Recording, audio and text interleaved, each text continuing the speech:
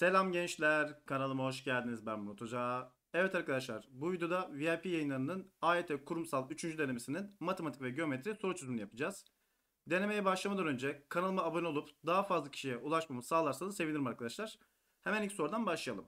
Şimdi karşımızda bir adet E tabanında logaritma varmış. Buna göre buradaki denklemin çözüm kümesi x1 ile x2'ymiş ve kökler çarpımı kaçtır diye soruyor. Şimdi sen logaritmada şöyle bir özellik olduğunu biliyorsun a üzeri logaritma b tabanında c varken bu ikisi kendi arasında yer değiştirebiliyor muydu? Evet değiştirebiliyordu. Bak dikkatli ol. Karşımızda tam da buna uygun bir ifade var. e üzeri ln x varken eğer ki ben bu ikisini yer değiştirirsem bu durumda x üzeri ln'e bu ifade gelmiş olacak. E sen ln'nin kaç olduğunu biliyorsun? 1 olduğunu biliyorsun. Dolayısıyla buradaki ifade kime eşit geldi? x eşit gelmiş oldu. E bunu da eşitliğin sağ tarafına gönderirsek o zaman denklem nasıl değişecek?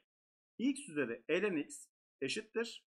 e üzeri 20 bölü x yapmış oldu mu? Bak paydasında gizli bir var. Eğer ki ben burada içler dışlar yaparsam x üzeri ln x çarpı x kime eşit gelmiş oldu? e üzeri 20'ye eşit gelmiş oldu. E tabanlar aynı üstleri topla. Bu durumda x üzeri ln x artı 1 de e üzeri 20'ye eşit gelmiş oldu. Şimdi şu söylediğimi sakın ama sakın unutmuyorsunuz. Mesela karşımızda x üzeri logaritma 2 tabanında x var. Diyelim ki bu ifadede 4'e eşit olsun.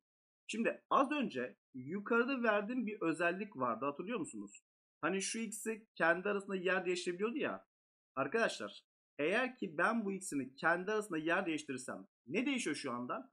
Hiçbir şey değişmiyor. İşte bu tarz ifadelerde yer değiştirsen de bir şey değişmeyen ifadelerde yapman gereken bir şey var.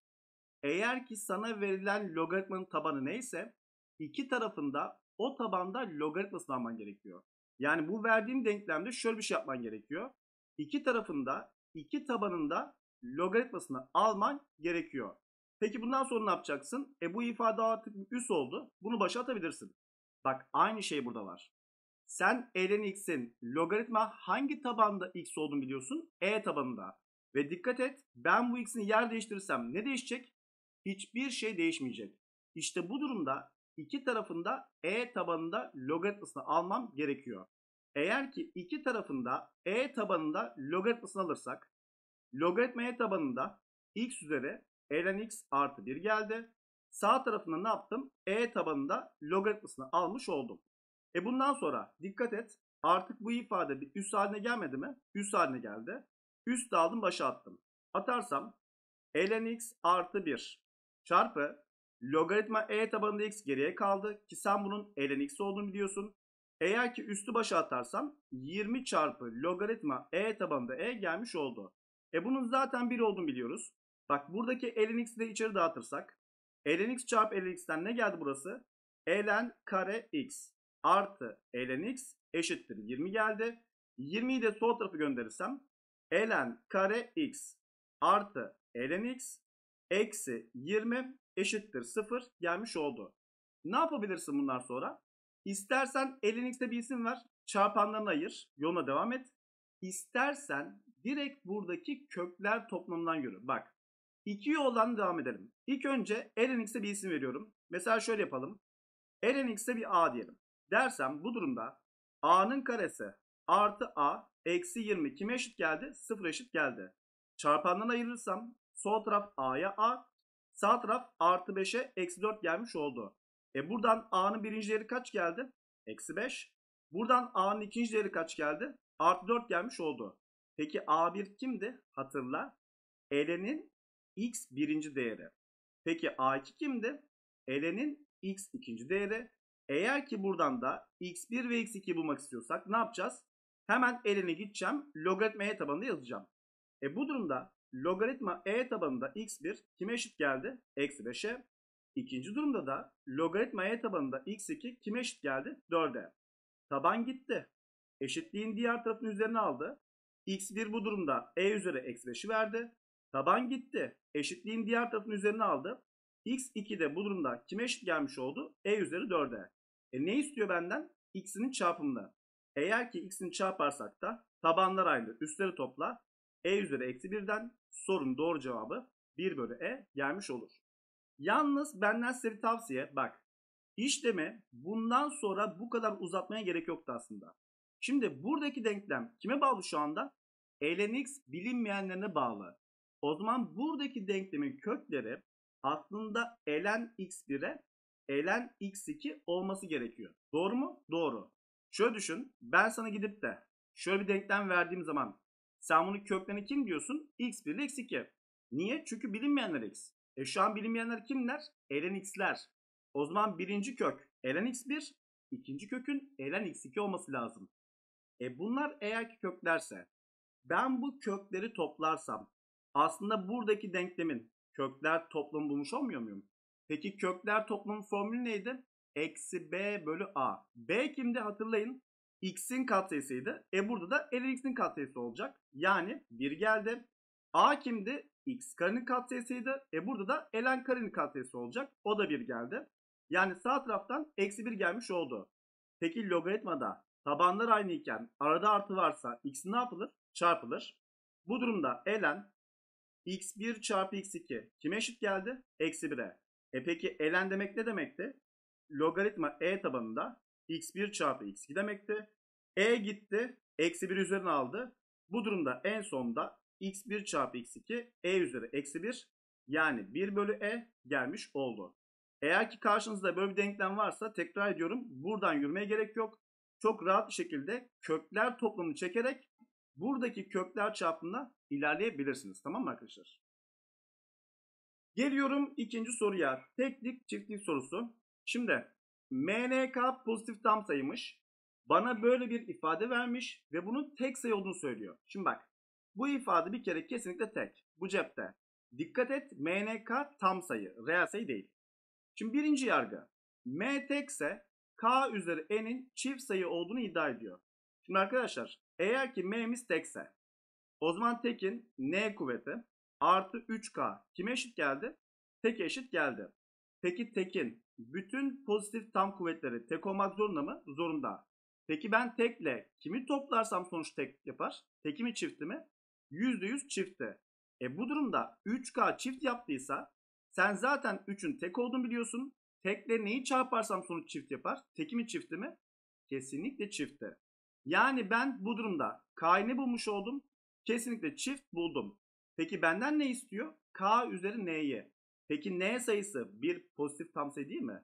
E buradan ben ne anlıyorum? Çiftin bütün pozitif tam kuvvetleri çift olduğu için o yüzden bu ifade kesinlikle doğru. Yani birinci yargı %100 doğru gelmiş oldu. Şimdi geliyorum ikinci yargımıza. Ne diyor bize? N kesinlikle çift sayıdır diyor. Şimdi N çiftken ben anlıyorum ki M üzeri bir çift sayı artı 3K kime eşit geldi? Teke eşit gelmiş oldu. E bu durumda ortaya çıkabilecek ihtimaller kimler? Bak burası tekken burası çift olsa sonuç tek gelebilir. Burası çiftken burası tek olsa sonuç yine tek gelebilir. Bunun çift olması bana m üzeri n'nin tamamıyla tek veya çift olduğunu söylemez. Taban tekse burası tek, çiftse çift olur. Yani buradaki ifadenin tek veya çift olması m'ye bağlı, n'ye bağlı değil. E şimdi bu durumda ortaya iki farklı sonuç çıkmadı mı? Çıktı. Ne diyor bana bu durumda? K üzeri m tektir diyor. K üzeri m'nin tek olması için K'nın kesin tek olması lazım. Ama K kesin tek mi? Değil ki. K çift de olabilir. O yüzden ikinci yargı kesinlikle doğru değil. Geldim üçüncü yargıya. Ne diyor bana soruda? M çarpı N artı 2K ifadesi çifttir diyor. E şimdi bak bizim elimizde tek bir bilgi var. O bilgi ne? Sen M üzerine artı 3K'nın tek olduğunu biliyorsun. Peki şu an buradaki ihtimaller kimler? Ya sol taraf tek, sağ taraf çift olacak ya da sol taraf çift, sağ tarafın tek olması lazım ki hani sonucumuz tek gelsin. Sol taraf eğer ki tek olursa m'nin ne olması gerekiyor? Tek. Eğer ki 3k çiftse 3'ümüz tek olduğu için o zaman k'nın çift olması lazım. İlk ihtimal bu. İkinci ihtimal ne? m üzeri n ifadesi çiftse kesinlikle m'nin çift olması lazım. 3k tekse 3 zaten tek olduğu için k'nın da tek olması gerekiyor. Şimdi bu ifadenin daima çift olması için iki ihtimalde sağlaması lazım. E bir yerine yazalım görelim bakalım sağlıyor mu? M'miz tek. N'nin ne olduğunu bilmiyorsun. Dikkat et. K'mız çift geldi. Bu durumda sen bu ifadeye kesin tek veya çift diyebilir misin? Diyemezsin çünkü n'nin ne olduğu belli değil. E o zaman zaten daima doğru olması mümkün değil. Çünkü bir ifadenin daima doğru olması için iki ihtimal de sağlaması gerekiyor. Yani sorun doğru cevabı yalnız birle Adana gelmiş oldu tamam mı? Geliyorum üçüncü olasılık sorusuna. Ne diyor bakalım soruda? Aşağıda 8 eş bölgeden ve ibreden oluşan bir sayı çarkı verilmiştir. Çark döndürük, döndürdükten bir müddet sonra sayıların yazıldığı bir bölge ibre hizasında iken duruyormuş. Yani çarkı döndüreceğiz bir yerde duracak onu söylüyor bize. Sayı çarkı 100 defa döndürdüğünde ibre bu döndürmelerin 2n artı 10 tanesinde 11 ile tam bölünebilen bir sayıyı, bu kadar tanesinde 10 ile tam bölünebilen bir sayıyı, 4n artı 18 tanesinde 6 ile tam bölünebilen bir sayı göstermiştir. Buna göre sayı çarpımındaki ibrenin 20 ile tam bölünen bir sayıyı gösterme olayının deneysel olasılığı nedir diye soruyor. Bir kere sorum şu. Deneysel olasılık kime eşitti? İstenen durum bölü tüm durum. Doğru mu? Doğru. Yani aslında bilimsel olarak şöyle. İstenen durumun eleman sayısı yani istenen kümenin eleman sayısı bölü tüm kümenin eleman sayısı. Şimdi arkadaşlar şu çarktaki sayıları bir incelersem bak şimdi. 20 sayısı kimin tam katı? 10'un. Yani 10'a tam bölünür. 24 sayısı 6 ile tam bölünür. 22 sayısı 11 ile tam bölünür. 36 sayısı 6 ile tam bölünür. 40 10 ile tam bölünür. 48 6 ile tam bölünür. 44 11 ile tam bölünür. 121 11 ile tam bölünür. Yani ben sana burada şunu demek çalışıyorum. Elindeki tüm sayılar zaten buradaki sayılarla tam bölünebilen sayılar. O zaman sen buradan ne anlayacaksın söyleyeyim mi? Şu gelen ihtimaller var ya. Bunlar zaten senin tüm ihtimallerin olmak zorunda. Çünkü elindeki sayıların hepsi buradaki sayılara tam bölünebilen sayılar. Yani ben sana şunu demeye çalışıyorum. Buradaki ifadelerin hepsinin toplamı mutlaka 100 olması lazım. Çünkü tüm ihtimal bu. O zaman bunları toplarsam 4n buradan 4n buradan 8n yaptı. 2n de buradan 10n geldi. Artı 18'i buradan 2 buradan 20 yaptı. 10 da buradan 30 geldi. E bu ifade eğer ki 100 eşitse 10n kime eşit geldi? 70'e. n de kaç yaptı? 7 yapmış oldu. Şimdi n'imiz 7 geldi mi? Geldi. Bu durumda benden ne istiyordu? 20 ile tam bölünebilen bir sayıyı gösterme olasılığını soruyor. E bir sayının 20 ile tam bölünmesi için buradaki sayılardan kime tam bölünmesi gerekiyor? 10'a. Yani 4'ten artı 2 farklı sonuç gelmesi gerekiyor. E ben n'i kaç bulmuştum? 7 bulmuştum. Yerine yazdım. 4 çarpı 7'den 28. 2 daha 30 gelmiş oldu. Kim bu? Bu 20 ile tam bölünen sayılar. O zaman geliyorum artık olasılığa. Zaten tüm durum belli. Tüm durum kaç? Toplamda 100 tane sayılma çıktı. Tüm durum 100. Peki istenen durum ne? Dikkat et. 20 ile tam bölünmesi. E oradan da 30 tane sayı çıktı.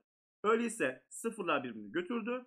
Sorunun doğru cevabı da 3 bölü 10 yani Adana gelmiş oldu tamam mı? Yani bu soruda kısaca neyi fark etmen gerekiyor?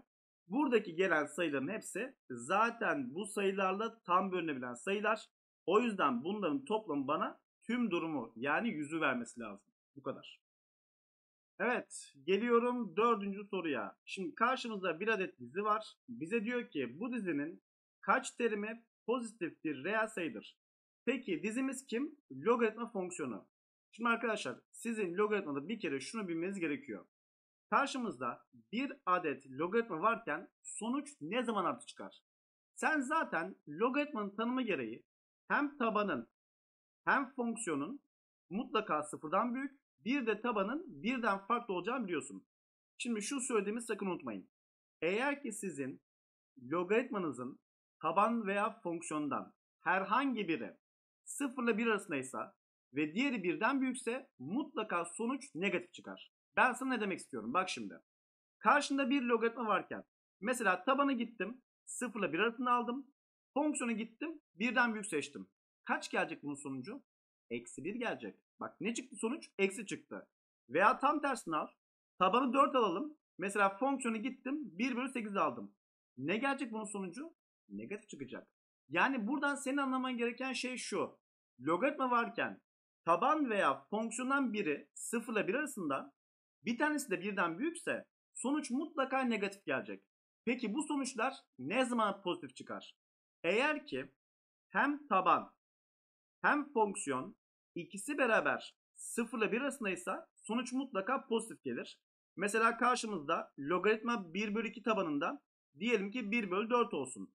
Dikkat et tabandan bir eksi gelecek. Yukarıdan bir eksi gelecek. Eksinin eksi oranı ne yaptı? Artı gelmiş oldu. Bir de taban birden büyük ve fonksiyon birden büyükse mutlaka sonuç yine artı gelmiş olur. Şimdi eğer ki soru bir dizi sorusuysa biz bu durumu alamayız arkadaşlar. Neden alamayız göreceğiz. Şimdi diyelim ki buradaki ifade 0 ile 1 arasında olsun. Yani ben sana kısaca ne demek istiyorum? Birden küçük olsun. O zaman 3n artı 10 bölü 2n artı 8 ifadesinin birden küçük olması gerekmiyor mu? Gerekiyor. Peki bu ifade nasıl birden küçük olur? Dikkat et. Bak biri bir sol tarafa atarsak 3n artı 10 bölü 2n artı 8 eksi 1 küçüktür 0 geldi. Bak bunun paydasında gizli bir varken burada işler işler yapamazsınız. Niye? Çünkü payda bilinmeyen var. Eşitsizliklerde payda bilinmeyen varsa içler işler yapılamazdı hatırlayın. E çarp x'ini çıkar buradan. Çıkartırsak 3n artı 10 eksi 2n eksi 8 bölü 2n artı 8 küçüktür 0 geldi mi? Geldi. 3n'den 2n çıkarttım. 1n kaldı. 10'dan 8 çıktı. 2 kaldı. Bölü 2n artı 8 küçüktür 0 gelmiş oldu. Şu anda ne yaptım anlıyor musunuz?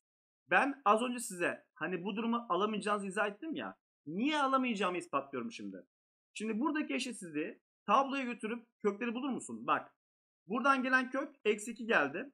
Aşağıdan gelen kök kaç gelecek? Eksi 4 gelecek. Sen tabloya gidip de eksi 4 ile eksi 2 alırsan işaretler kimle başlayacak? Artı ile başlayacak. Eksi burası geldi, artı burası geldi. Sen kimleri almak istiyorsun? Eksileri. E peki eksilerin olduğu bölgede şuradaki en değerleri negatif değil mi? E ben en değerlerini dizide negatif alamam ki. O yüzden buradaki ifadeleri bu soruya katmam mümkün değil. Yani benim bu soruda çözmem gereken yer neresi? Tabanın ve fonksiyonun birden büyük olduğu yerler. Sen gidip de burada eğer ki tabanı birden büyük, şuradaki fonksiyonu da eğer ki birden büyük alırsan otomatikman bu durumda buradaki diziyi ne yaparsın? Artı yapmış olursun. Şimdi zaten 8 bölü n ifadesi birden büyük olacaksa buradan gelecek olan tam sayılar belli. Kim gelecek buradan?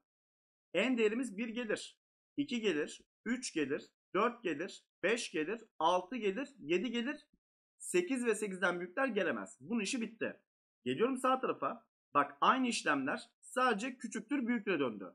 At bunu sol tarafa. 3n artı 10 bölü 2n artı 8 ne geldi? Eksi 1 büyüktür. 0 geldi. Eksi 1 ile 2n artı 8'i çarp paya ekle. E bu durumda 3n artı 10 eksi 2n eksi 8 bölü 2n artı 8 büyüktür 0 geldi mi? 3n'den 2 tane n çıktı. Bir tane n kaldı. 10'dan 8 çıktı. 2 geldi. Bölü 2n artı 8 sıfırdan büyük gelmiş oldu. E şimdi karşımızda rasyonel bir eşitsizlik varken nereye gidecektik? Tabloya. Hemen kökleri bulun. Şu anda pay kısmının kökü kim gelmiş oldu? Eksi 2 gelmiş oldu. Bu arada kök demek ne demekti? Fonksiyonu sıfır yapan sayıydı. Peki paydanın kökü kim geldi? Oradan da eksi 4 gelmiş oldu. Aynı şekilde tabloya gidersek burası eksi 4 geldi. Burası eksi 2 geldi. Peki işareti neyle başlayacağım? N'in katsayısı artı. N'in katsayısı artı. Artıların oranı artı olduğu için tablonun en sağından artı ile başlayacağım. Ve dikkatli ol buradaki kökler tek kat kök. E, eşitlik yoksa o zaman içlerinin boş olması gerekiyor. Artıdan eksiye döndü. Eksiden artıya döndü. Peki benden kimi istiyor? Artıları istiyor. Yani bir şu kısmı bir de bu kısmı almamı istiyor. Olay şu işte. İki tane eşitsizlik vardı. Bu iki tane eşitsizliği sağlayan ortak değerleri almak zorundasın. E şu anda iki eşitsizliği sağlayan ortak değerler kimler? Bak tam da bunlar. Dikkat et. Buradaki sayılar şu an nereye düşüyor? Tam da şu kısma düşüyor. O zaman sen buradaki değerleri ne yapabilirsin? Ortak çözüm ilan edebilirsin. Dolayısıyla n'in alabileceği 7 tane değer geldi. Yani sorunun doğru cevabı Bursa gelmiş oldu. Şimdi bazılarınız şunu söyleyebilir. Hocam çok uzatmadık mı? Hayır uzatmadık çünkü bunları açıklamak zorundaydım. Yani şunları niye almıyorum? Normalde bunu açıklamam gerekiyor mecburen.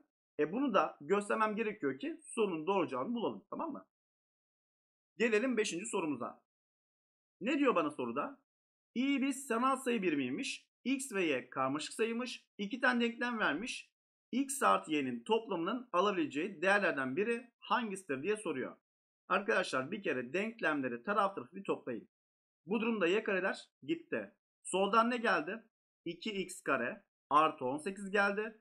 Sağdan da 12x gelmiş oldu. At bunu da sol tarafa. Sol tarafa atarsak 2x kare eksi 12x artı 18 eşittir 0 gelmiş oldu. Bak ikiler hepsinde ortak değil mi? Ortak. İki tarafı da ikiye bölersem x kare eksi 6x artı 9 eşittir 0 gelmiş olur. Peki bu ifade kimin tam kare açılımı? x eksi 3'ün parantez karesinin açılımı. Birincinin karesi. Birinci ile ikincinin çarpımı iki katı. ikincinin karesi.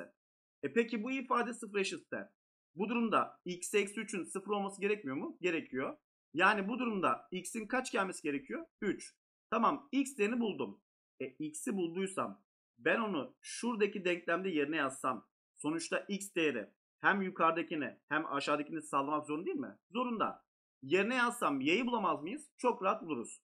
Yerine yazıyorum. Bu durumda 3'ün karesinden 9 geldi. Eksi y kare eşittir. 3 çarpı 12'den 36 gelmiş oldu. Y kareyi sağ tarafa at. 36'yı sol tarafa at. Eksi 27 eşittir y kare çıktı mı? Çıktı. Ben burada eğer ki iki tarafında kare kökünü alırsam kareyle kök gitti. Sağ taraf dışarıya mutlak değerli çıktı. Peki kök eksi 27'yi ben aynı zamanda 27 çarpı eksi 1 şeklinde yazsam bir şey değişir mi? Değişmez. Hatırlayın kökün çarpmaya dağılma özelliği vardı. Yani ben bu ifadeyi kök 27 çarpı kök eksi 1 şeklinde yazarım. Peki kök eksi 1 karmaşık sayılarda kime eşitti? İ'ye eşitti. Aynı zamanda sen kök 27'nin 3 kök 3 olduğunu görebiliyorsun. Yani kısaca mutlak değer y kime eşit geldi? 3 kök 3 çarpı i'ye eşit geldi. E mutlak değer dışarıya bir artılı bir eksi çıkmaz mı? Çıkar. Yani y'nin birinci değeri 3 kök 3 çarpı i geldi. y'nin ikinci değeri eksi 3 çarpı kök 3 çarpı i gelmiş oldu. Benden ne istiyor? x artı y'nin alabileceği değerlerden bir tanesini istiyor. Bak x değerim 3, y değerim bunlar. Teker teker toplayalım. x'ten 3 seçtim. y'den 3 kök 3 i'yi seçtim. Var mı bu toplam? Var.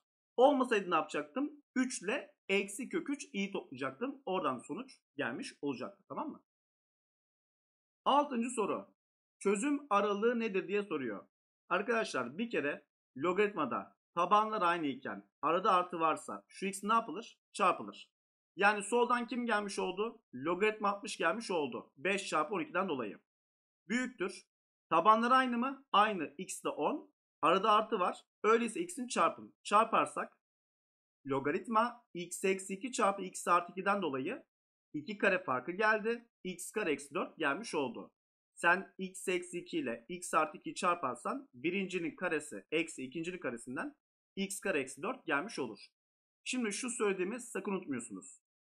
Logaritmada tabanlar aynı iken ve taban birden büyükken unutmayın buradaki eşitsizlik daima şuradaki fonksiyonlara taşınır.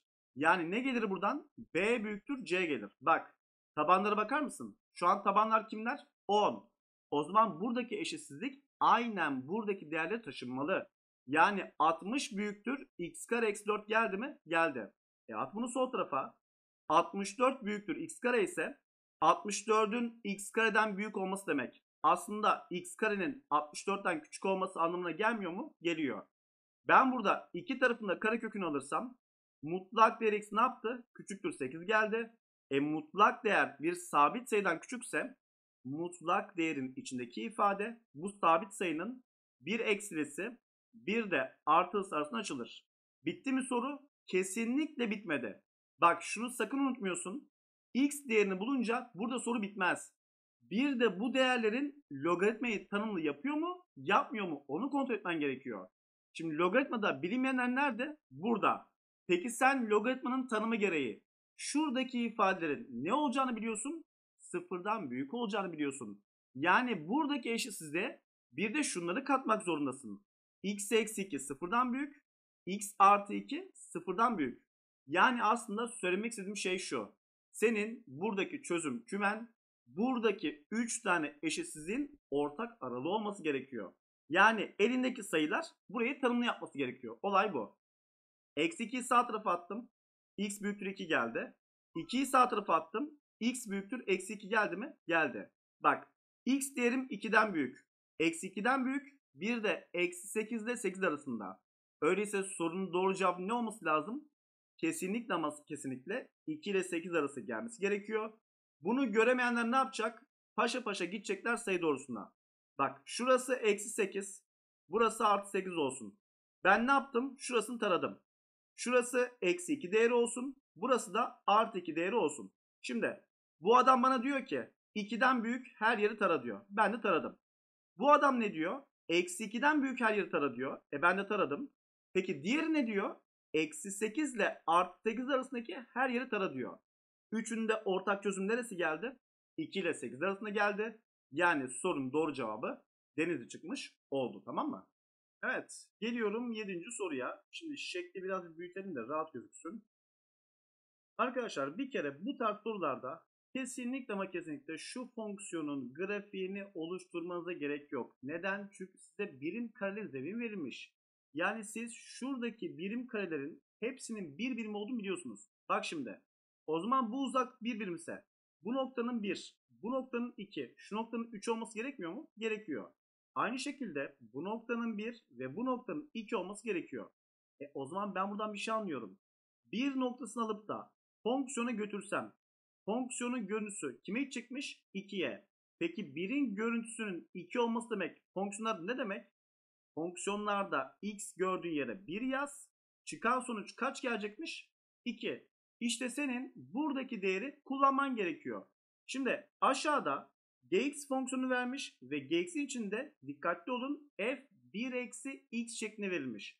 Peki benim burada f1'i kullanmam için x gördüğüm yere ne yazmam lazım? İşte düşünmem gereken şey bu. Burasının 1 olması için kullanmam gereken x değeri 0 değil mi? O zaman şuradaki denklemde yani bu fonksiyonda x gördüğüm her yere 0 yazarsam g0 değerinin kaç gelmesi gerekiyor? Eksi 1 eksi f1 gelmesi gerekiyor. E sen f1'in zaten 2 olduğunu biliyorsun. Öyleyse ben buradan ne anlıyorum? g0 değeri eksi 3'e gitmesi gerekiyor. Peki şunu düşün. Bir fonksiyonda x gördüğün yere 0 yazmak demek ne demekti? Hatırla. g eksenini kesen nokta demekti. Yani benim buradan anladığım şey şu. Senin buradaki fonksiyonun mutlaka y eksenini eksi 3'te kesmeli. Şimdi bakalım hangileri y eksenini eksi 3'te kesiyor. Sen şu noktanın dikkat et eksi 1. Bu noktanın eksi 2 olduğunu biliyorsun. Öyleyse A şıkkı gitti. Geldik buraya. Eksi 1 burası. Eksi 2 burası. Eksi 3 burası. Kesmiyor. Aynı şekilde eksi 1, eksi 2, eksi 3. Bak bu olabilir. Olabilir diyorum. Direkt doğru cevap demiyorum. Çünkü aynı olan farklı bir ifade gelirse başka bir değer dönmem gerekiyor. E burası eksi 1. Olamaz. Geçtim. Aynı şekilde E şıkkına baktım. E burası zaten 1 de kesiyor. Bu da olamaz. Öyleyse sorunun doğru cevabı Ceyhan çıkmış olur tamam mı? Evet geliyorum 8. soruya. Şimdi AN ve BN birer geometri diziymiş. AN dizisinin ortak çarpanı 3'müş. Şöyle bir eşitlik verilmiş. Buna göre BN dizisinin ilk 5 teriminin toplamı birinci teriminin kaç katıdır diye soruyor. Hatırlıyor musunuz? Geometrik, geometrik dizide ilk n terimin toplamı formülü vardı. Neydi o formül? Bir kere bu formül S'lerle gösterilirdi. E şu an karşımdaki dizi Bn olduğu için dizinin birinci terimi çarpı ortak çarpan üzeri n eksi 1 bölü ortak çarpan eksi 1. Bana neyi verecekti? İlk n terim toplam formülü verecekti. Peki bana burada kimden bahsediyor? İlk 5 terim toplamından bahsediyor. E öyleyse ben burada en gördüğüm her yere 5 yazarsam S5 kime eşit gelecek? Bu dizinin ilk 5 terim toplamına eşit gelecek. E bu da B1 çarpı R üzeri 5 eksi 1 bölü R eksi 1'i bana vermiş olacak. Peki bizden soruda ne istiyor? Bu ilk 5 terim toplamı birinci terimin yani B1'in kaç katıdır diye soruyor. Yani kısaca aslında S5'in B1'e oranı istiyor. E bu durumda B1'ler birbirini götürmedi mi? Götürdü. Geriye kim kaldı? R üzeri 5 eksi 1 bölü R eksi 1 kalmış oldu. Yani ben buradan ne anlıyorum? Ben bu soruda eğer ki Bn dizisinin ortak çarpanı bulursam bu soru bitecek. Peki herhangi bir geometrik dizide sen ortak çarpanı nasıl bulurdun? Ardışık iki terimi birbirine oranlaman gerekiyor. Yani Bn için konuşuyorum. Sen eğer ki gidip de ikinci terimi birinci terimi oranlarsan mutlaka buradan kim çıkacaktır? R ifadesi gelecektir. Peki biz bunu nasıl bulacağız? Çok basit. Şuradaki ifadede en gördüğün her yeri 2 yazar mısın? Yazıyorum. Öyleyse B2 kime eşit geldi? A2 çarpı A4 çarpı A6 eşit geldi. E bir de en gördüğün yeri 1 yaz. Yazarsak B1 eşittir. A1 çarpı A3 çarpı A5 gelmiş oldu mu? O zaman bu x'in oranı bana B2 bölü B1'e yani R'yi vermiş olmayacak mı? Şimdi hemen gidiyorum. AN'in en genel terimini ilk önce bir açıyorum. Neydi dizinin en genel terim açılımı? Hatırlayın. Dizinin birinci terimi çarpı ortak çarpanı üzeri n eksi 1. Yalnız bu ortak çarpanı r demeyelim. Zaten bana burada ortak çarpanı vermiş. Hemen gidiyorum. Ortak çarpan yerine 3 yazıyorum. Üzeri n eksi 1 gelmiş oldu. Şimdi buradaki terimleri teker teker buraya bir açalım. Ben burada en gördüğüm yeri 2 yazsam. Bak dikkat et. Ne gelmiş olacak burası? A1 çarpı 3 üzeri 2 eksi 1'den 1 gelmiş olacak. En gördüğüm yere 4 yazsam. Ne geldi soldan? A1 geldi. Sağdan da 3 üzeri 4 eksi 1'den 3'ün kübü geldi. Aynı şekilde en yerine 6 yazsam. Soldan A1 geldi. Sağdan da 3 üzeri 6 eksi 1'den 5 gelmiş oldu. İndim aşağıya. Burada zaten A1 var. Bu önemli değil. En yerine ben burada 3 yazsam kim gelecek? A1 çarpı 3 üzeri 2 gelecek. En yerine 5 yazarsam kim gelecek? A1 çarpı 3 üzeri 4 gelmiş olacak mı? Bak dikkatli ol. Zaten bu 3 tane A1 ile şu 3 tane A1 birbirini götürdü. Geriye kim kaldı? Şuradaki ifadeler çarpım şeklinde kaldı. E tabanlar aynı, üstleri topla. Toplarsak 3 üzeri 9 geldi. Tabanlar aynı, üstleri topla. 3 üzeri 6 gelmiş oldu. Tabanlar aynı, üstleri çıkar. 3 üzeri 3'ten kaç gelmiş oldu B2'nin B1 oranı? 27 gelmiş oldu. E peki B2'nin B1'i oranı aslında ortak çarpan değil miydi? Ortak çarpandı. Yani R'miz 27 gelmiş oldu. O zaman buradaki ifadede ben R gördüğüm yere 27 yazarsam 27 üzeri 5 eksi 1 bölü 27 eksi 1'den 26 gelmiş oldu. E sen aynı zamanda 27'nin 3'ün kübü olduğunu biliyorsun. Üstün üstü var. X'ini çarparsam en son 3 üzeri 15 eksi 1 bölü 26 gelmiş oldu. Yani sorunun doğru cevabı Denizli çıkmış oldu. Tamam mı? Güzel bir soruydu. Evet geliyorum yavaş yavaş 9. sorumuza. Şimdi M ile N birer tam sayıymış. İkisinin çarpımı negatifmiş. Demek ki 1 eksi 1 artı olacak. Bak buradaki eksi neyi sağ tarafa atarsan. Öyleyse M değeri N'den daha büyük geldi mi? Geldi. Sen birisinin eksi birisinin artı olduğunu biliyorsun ve M N'den daha büyük. E öyleyse bariz ki N'nin eksi M'nin artı olması gerekiyor. Doğru mu? Doğru. Karşımızda rasyonel bir eşitsizlik varken sen rasyonel eşitsizliğin çözülmesini nerede bulacaktın? Tabloda. Peki tablo yapmak için ilk yapılması gereken şey neydi? Kesinlikle kökleri bulmak. Öyleyse bu fonksiyonların teker teker köklerini biz ilk önce bir bulalım. mx eksi n'yi sıfır eşitledim. Buradan x kim geldi? n bölü m gelmiş oldu. Aynı şekilde m artı n çarpı x'i sıfır eşitledim. m'yi karşı tarafı gönder. nx eşittir eksi m geldi. İki tarafı n'ye böl. x'in ikinci değeri eksi m bölü n geldi. Bu x'in birinci değeriydi. Devam ediyorum. Aynı zamanda sen paydayı sıfır eşitlersen x'in üçüncü değeri de kim gelmiş oldu? Sıfır gelmiş oldu. Bak şimdi dikkatli ol. Biz n'nin eksi, m'nin artı olduğunu biliyoruz ya. Öyleyse burası eksi, burası artı iken buradaki kök şu anda işaret olarak ne gelmiş oldu? Eksi gelmiş oldu. Aynı şekilde n eksi m artı iken işaret olarak ne gelmiş oldu? Artı gelmiş oldu. ve burası 0 geldi. Yani sen şu anda bu 3 kökten kimin büyük kimin küçük olduğunu biliyorsun. O zaman gidiyorum yavaş yavaş kime? Tabloya bir gidelim. Tabloya gittikten sonra kökleri küçükten bir doğru bir yazalım. Şu an elimdeki en küçük kök n bölüme. Çünkü değeri eksi geldi. Ardından 0 geldi. Daha sonra da kim gelmiş oldu? Eksi m bölüne gelmiş oldu. Arkadaşlar dikkatli olun. Bu köklerden birer tane olduğu için kökler nasıl kök? Tek kat kök yani birer tane yuvarlak koyacağız. Ve eşitlik olduğu için payı sıfır yapan değerleri almak zorundayız. Yani buradaki kökü ve buradaki kökü ne yapıyorum? Dolu işaretliyorum. Ama rasyonel eşitsizliklerde paydayı sıfır yapanı ne yapamazdınız? Alamazdınız. O yüzden burasını açık bıraktım. Şimdi geldim işarete. İşaret nereden başlayacağız? Dikkatli ol. Eksi m bölü neyin sağından başlayacağız. Ama neyle başlayacağız?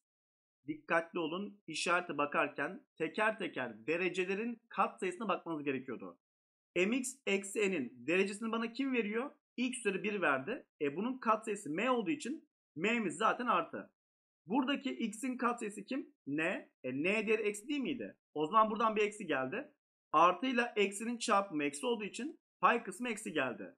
Buradaki x'in katsayısı artı olduğu için eksinin de artıya bölümü eksi geldiği için tablonun en sağından eksiyle başladım.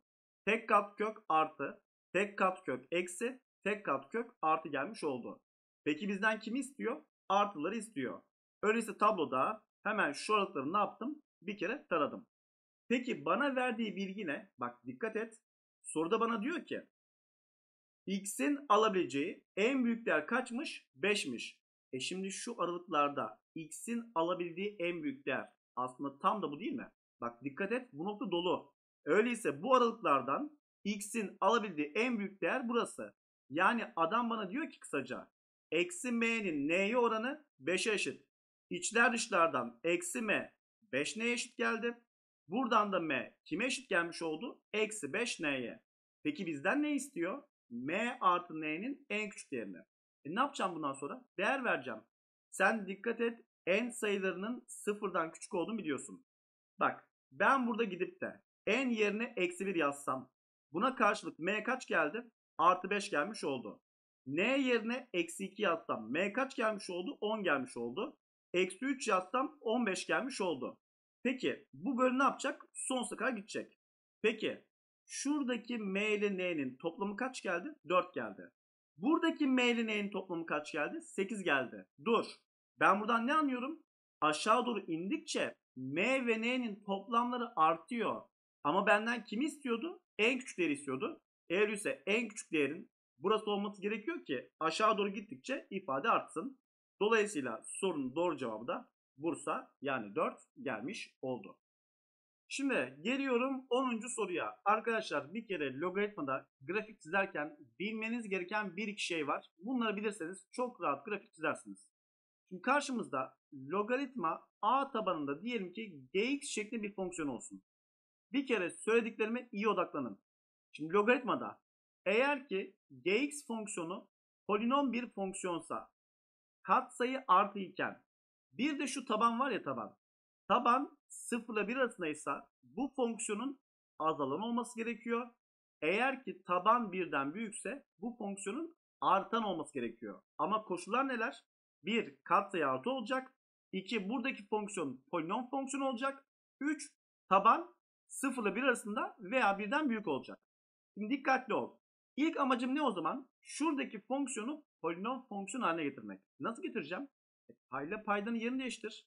Değiştirirsem logaritma 5 tabanında x eksi 4 üzeri eksi 1 olmadı mı burası? Üstü aldım başa attım. Başa atarsam eksi logaritma 5 tabanında x eksi 4 gelmedi mi? Geldi. Hatırlayın logaritmanın tabanında üstü başa atma özelliği vardı. Öyleyse ben başta olan bir şeyi ne yapabilirim? Taban üzerine aktarabilirim. E aktarırsam bu durumda logaritma 5 üzeri eksi 1 tabanında kim gelmiş oldu? x eksi 4 gelmiş oldu. E sen aynı zamanda 5 üzeri eksi 1'in 1 bölü 5 olduğunu biliyor musun? Evet biliyorsun. Bak buradan kim çıktı kontrol et. Buradaki fonksiyon polinom. Katsayı artı taban 0 ile 1 arasında. E, bu şartlar altında buradaki fonksiyonun azalan bir fonksiyon olması gerekiyor. Öyleyse sen C'yi alabilirsin, A'yı alabilirsin, B'yi alabilirsin ama D ve E'yi alamazsın. Niye? Çünkü fonksiyon azalan olacak bu cepte. Şimdi bunun dışında başka bize kim yardımcı olacak?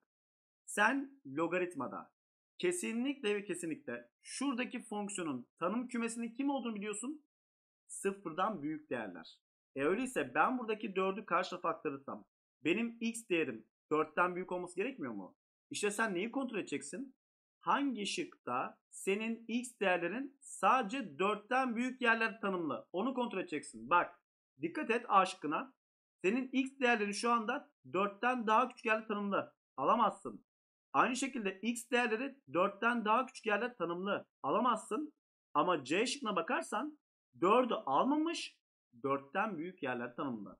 Öyleyse benim doğru cevabım Ceyhan olması gerekiyor. Tamam mı? Olayımız bu. Şimdi bir ne yaptık?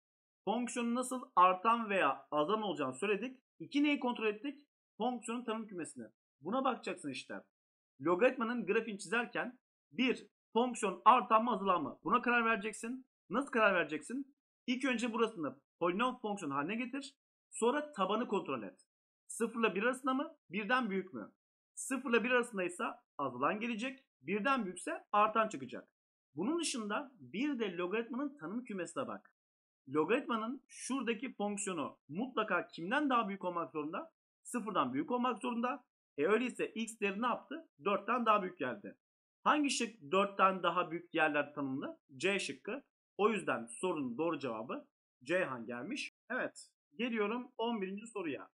Karşımızda ikinci derecen bir denklem var. Kökleri a ile b olarak verilmiş. Buna göre buradaki ifadenin değeri kaçtı diye soruyor. İkinci derecen denklemlerde eğer ki size kökli bir ifade istiyorsa bilin ki iki tarafın karesini alırsan bu soru çıkar.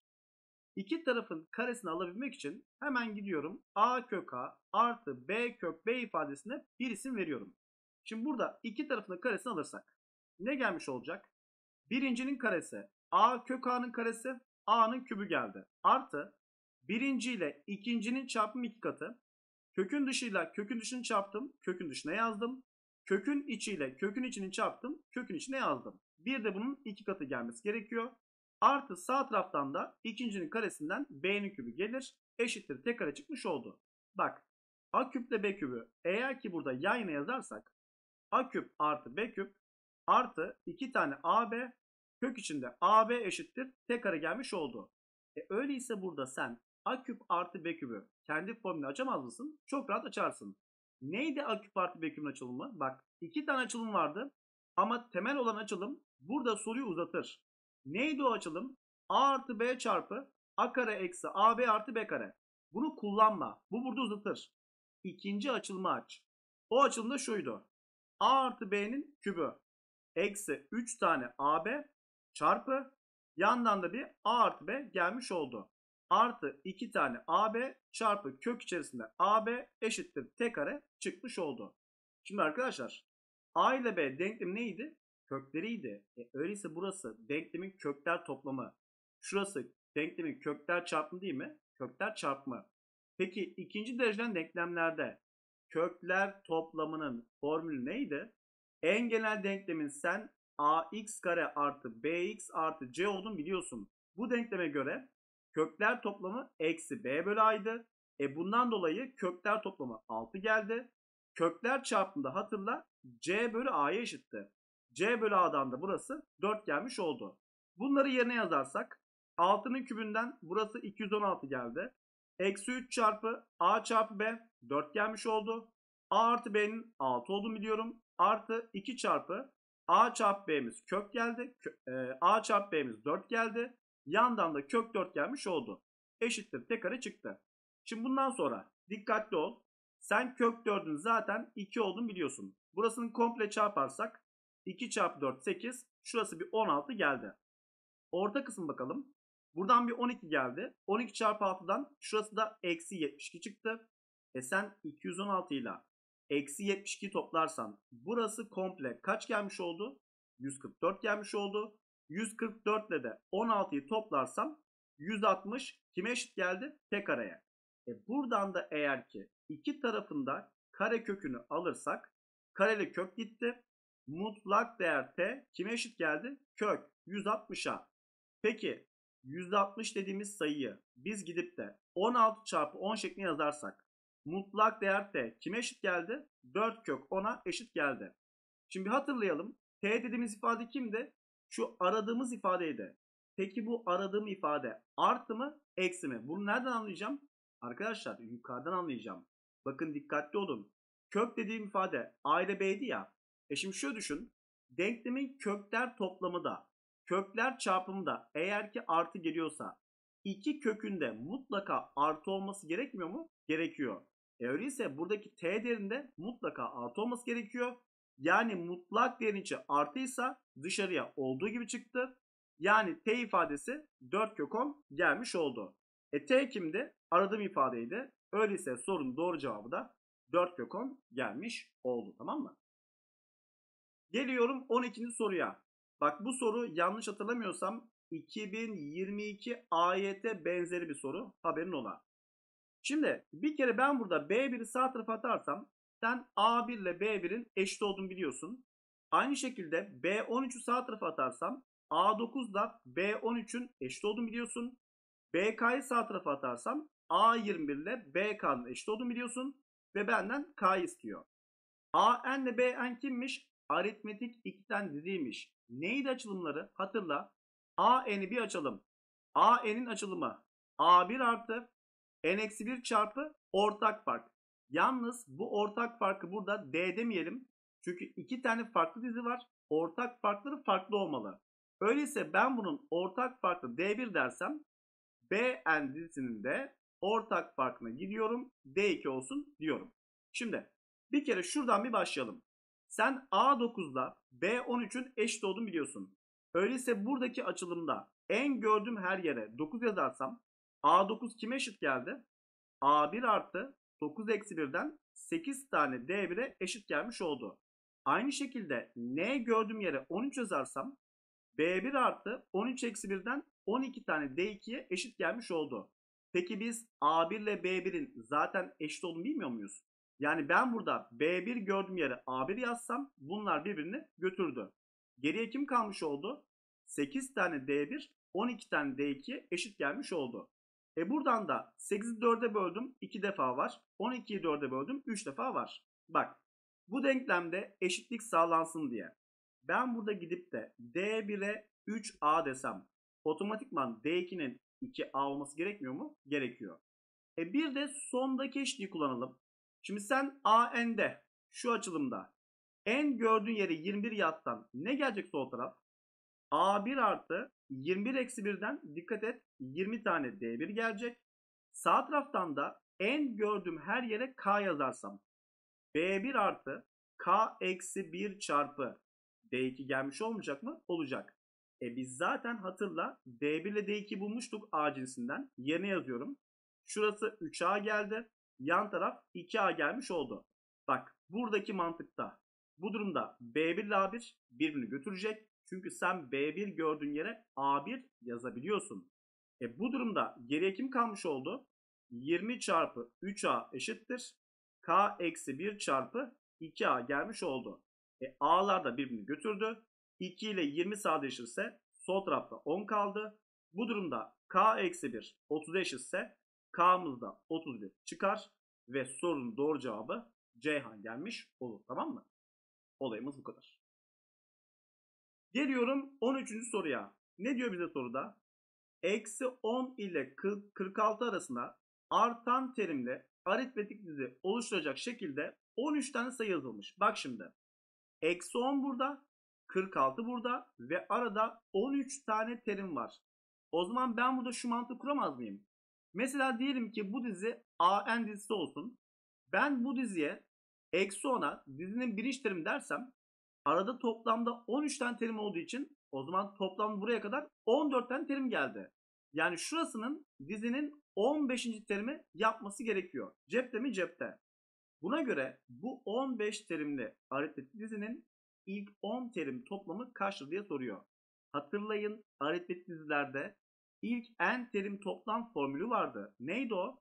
n bölü 2 çarpı 2a1 artı n-1 çarpı ortak farktı.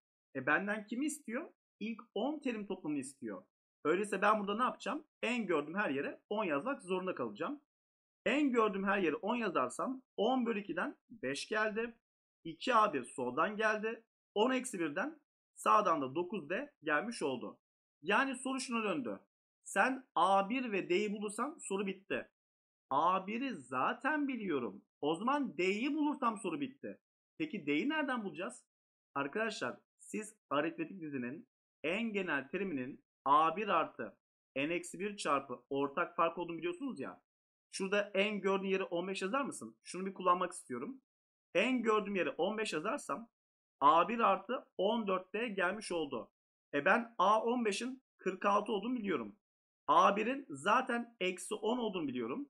Bunu karşı tarafa gönderirsem 56 eşittir. 14'ten D'den de D'de kaç gelmiş olacak? 4 gelmiş olacak. E bu durumda D'yi 4 buldum. A1'i eksi 10 buldum.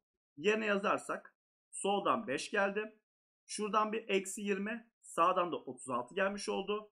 36'dan 20 çıkarsa buradan bir 16 geldi. 16 ile de 5'i çarparsam sorunun doğru cevabı 80 ile Bursa çıkmış olur. Tamam mı? Evet geliyorum 14. soruya. Şimdi K pozitif bir reel sayıymış.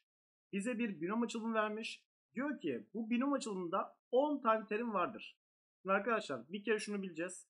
Her binom açılımında unutmayın üstteki terim kaçsa her zaman bunun bir fazlası adette terim vardır.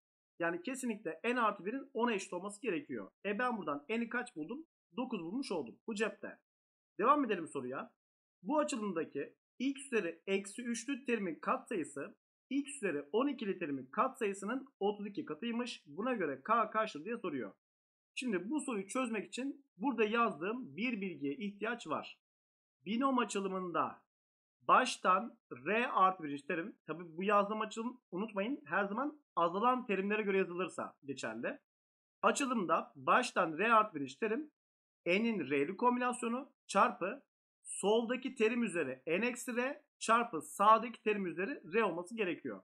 Şimdi öyleyse korumuz şu. Benim elimde x kare artı bak ben buradaki x'i paya atarsam k çarpı x üzeri eksi 1'in 9. kuvveti var. Ben buradaki ifadeden x üzeri eksi 3'lü terimin katsayısını nasıl bulacağım? Şimdi sorumuz şu. x üzeri eksi 3'lü terim baştan kaçıncı terim? Biliyor musun? Bilmiyorsun. O zaman diyorum ki buradaki terim baştan r artı birinci terim olsun. Tamam mı? Peki bu durumda ben bu ifadeyi binoma nasıl atacağım? Bak n'imiz 9. Dikkat et r'miz şu anda r. E o zaman alıp da yerine yazarsak 9'un r'li kombinasyonu çarpı Açılımda soldaki terim kim? x kare. x kare üzeri n eksi r'den 9 eksi r geldi. Sağdaki terim k çarpı x üzeri eksi 1 üzeri r gelmiş oldu. İşte bu ifade kime eşit olmuş, olmuş olması gerekiyor? x üzeri eksi 3'e. Ama dikkat edin mutlaka x üzeri eksi 3'ün bir de katsayısı gelecek. E bunu biliyor muyum? Bilmiyorum. Diyelim ki bu katsayı da b olmuş olsun. Şimdi olayımız şu. Sol tarafta ve sağ tarafta x'li terimler var. Polinom eşitliğinden tabanlar aynıysa üstlerinde eşitliğinden r'yi bulacağız.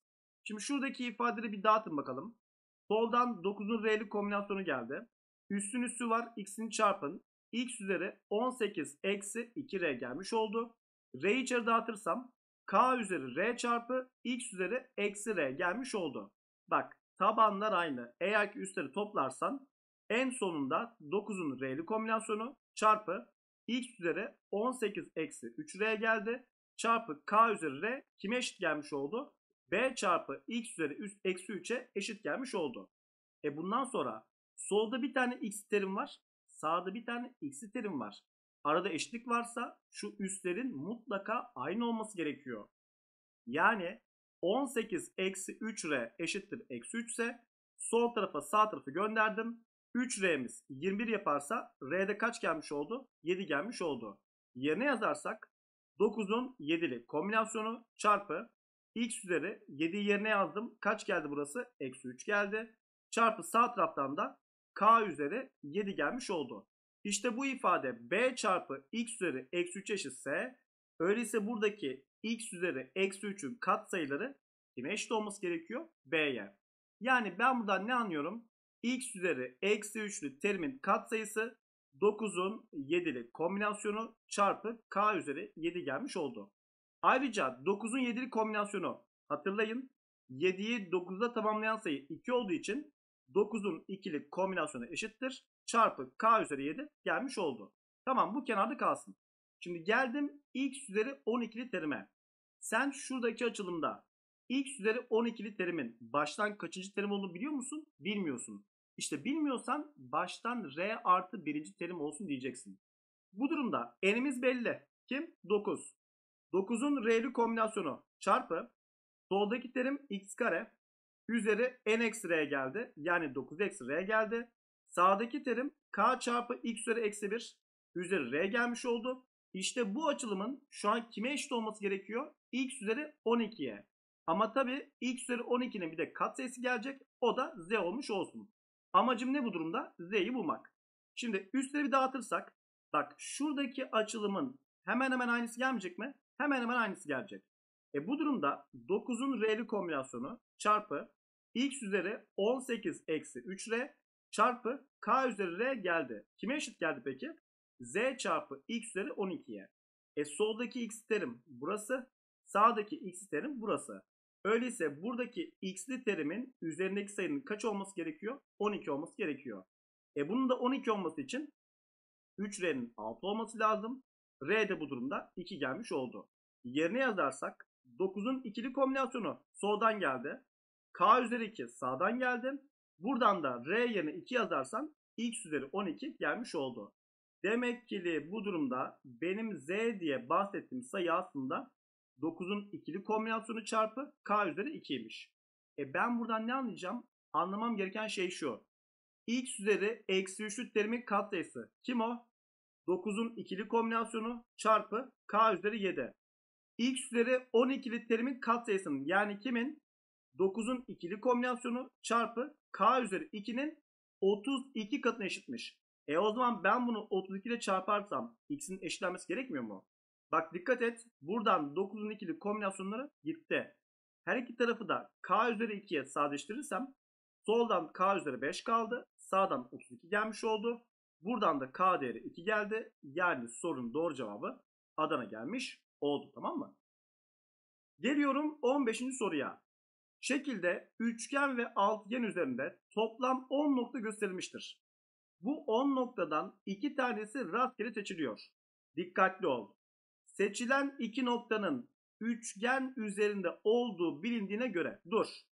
Şimdi bir kere sen iki tane nokta seçeceksin ve seçtiğin bu iki nokta kim üzerinde olduğu biliniyor? Üçgen üzerinde.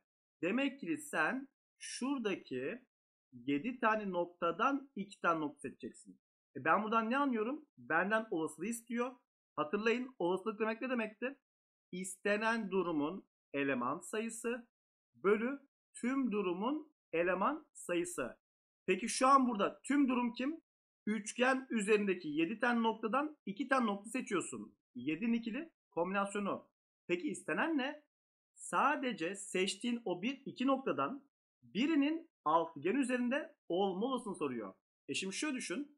Sen iki tane nokta seçiyorsun. Bir tanesinin altıgen üzerinde olma olasılığını soruyor. Bak iki tane nokta seçiyorsun ya. Şimdi bu üçgen üzerinde iki nokta seçtiğin zaman bir tanesi altıgen üzerinde olacaksa geri kalan bir tanesi kim üzerinde olmak zorunda? Üçgen. Bitti.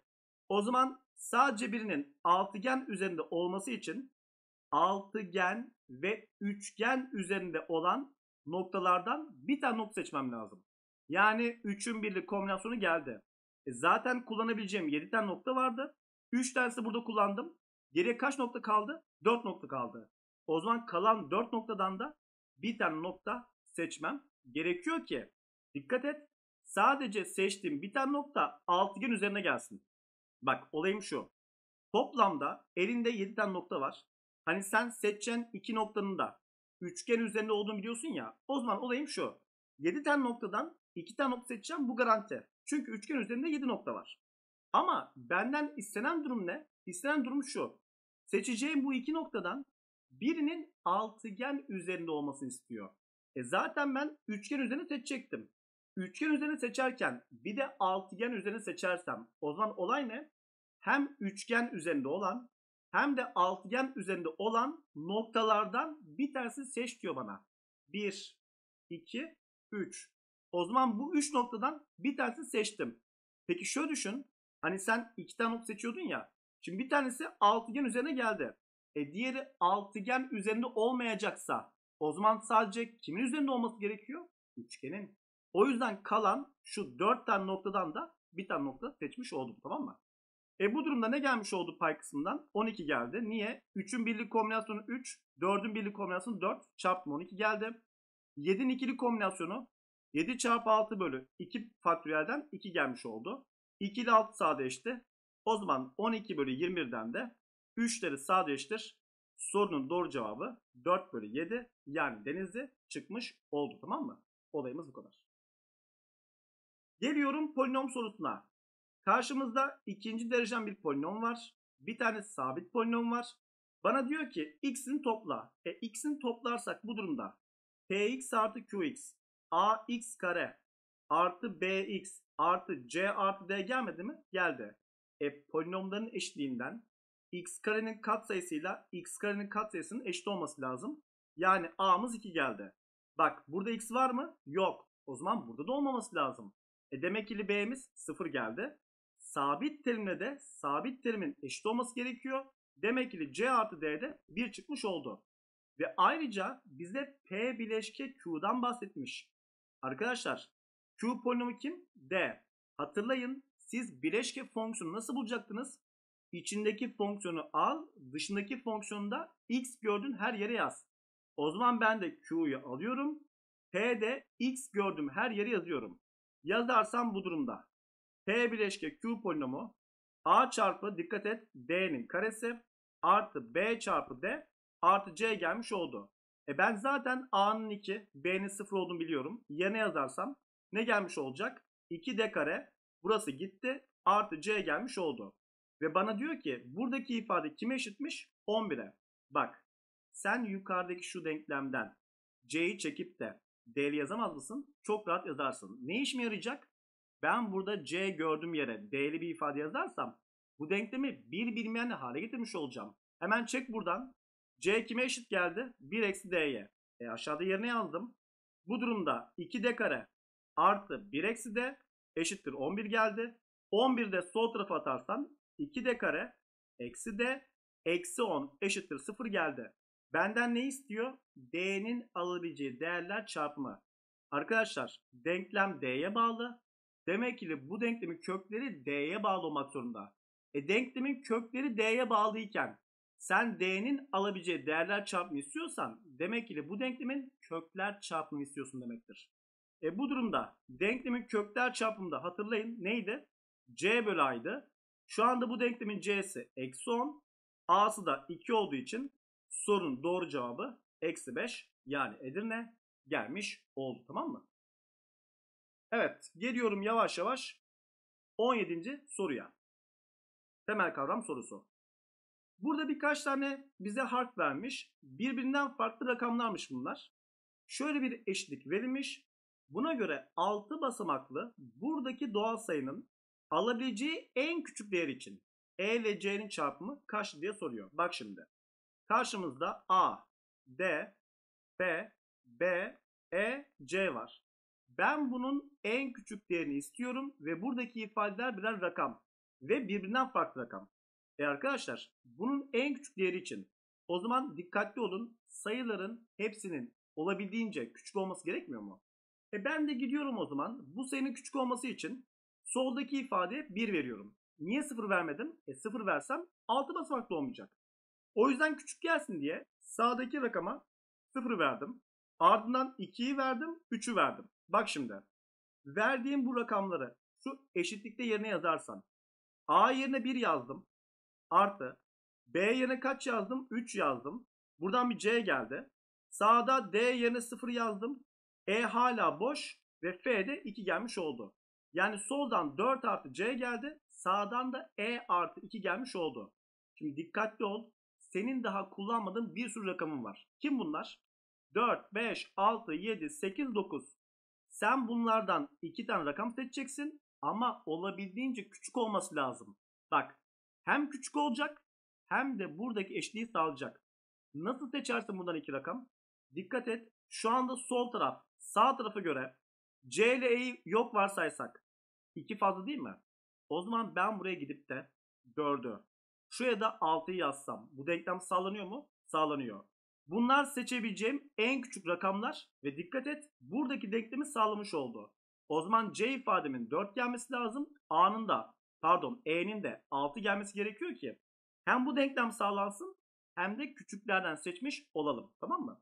E bu durumda E ile C 6 ile 4 geldi. X'ini çarparsam da sorunun doğru cevabı 24 yani Ceyhan gelmiş oldu. Evet geliyorum 18. soruya. Bize birkaç tane tanım yapmış. Richter ölçeği depremin şiddeti depremin sıfır seviyesindeki şiddeti. Şimdi burada bir dur. Arkadaşlar sakın şunu unutmuyorsunuz. Depremin sıfır seviyesindeki şiddeti her zaman sabit sayıdır. Çünkü dikkatli olun buradaki ifade hiçbir değişene bağlı değil. Sadece ne bu ifade? Depremin sıfır anındaki şiddeti. E şöyle düşün.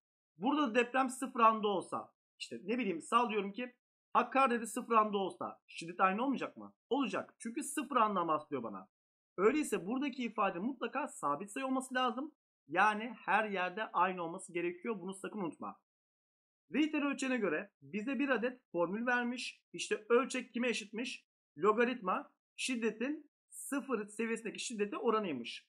Buna göre A beldesinde meydana gelen depremin Richter ölçeğine göre büyüklüğü 5.4'müş. Yani ben buradan ne anlıyorum?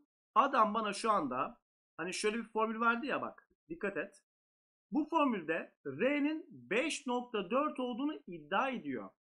B beldesinde meydana gelen depremin Richter ölçeğine göre büyüklüğü 7.4'tür. Aynı şekilde başka bir beldede büyüklüğün de 7.4 olduğunu bana söylemiş. B beldesinde meydana gelen depremin şiddeti A beldesinde meydana gelen depremin şiddetinin kaç katıdır diye soruyor. Şimdi şiddet şehirden şehre göre değişir mi? Evet değişir. O zaman şöyle yapalım. Buradaki ifade yazarken hani biz burada Richter'e göre A yazdık ya. O zaman buradaki şiddet A'nın şiddeti olsun. Buradaki şiddet B'nin şiddeti olsun. Yani bunu yazarken logaritma IA bölü I0 şekli yazalım. Tekrar söylüyorum A'yı niye yazdım? Çünkü sen şu anda A'ya ait bir büyüklük yazdın.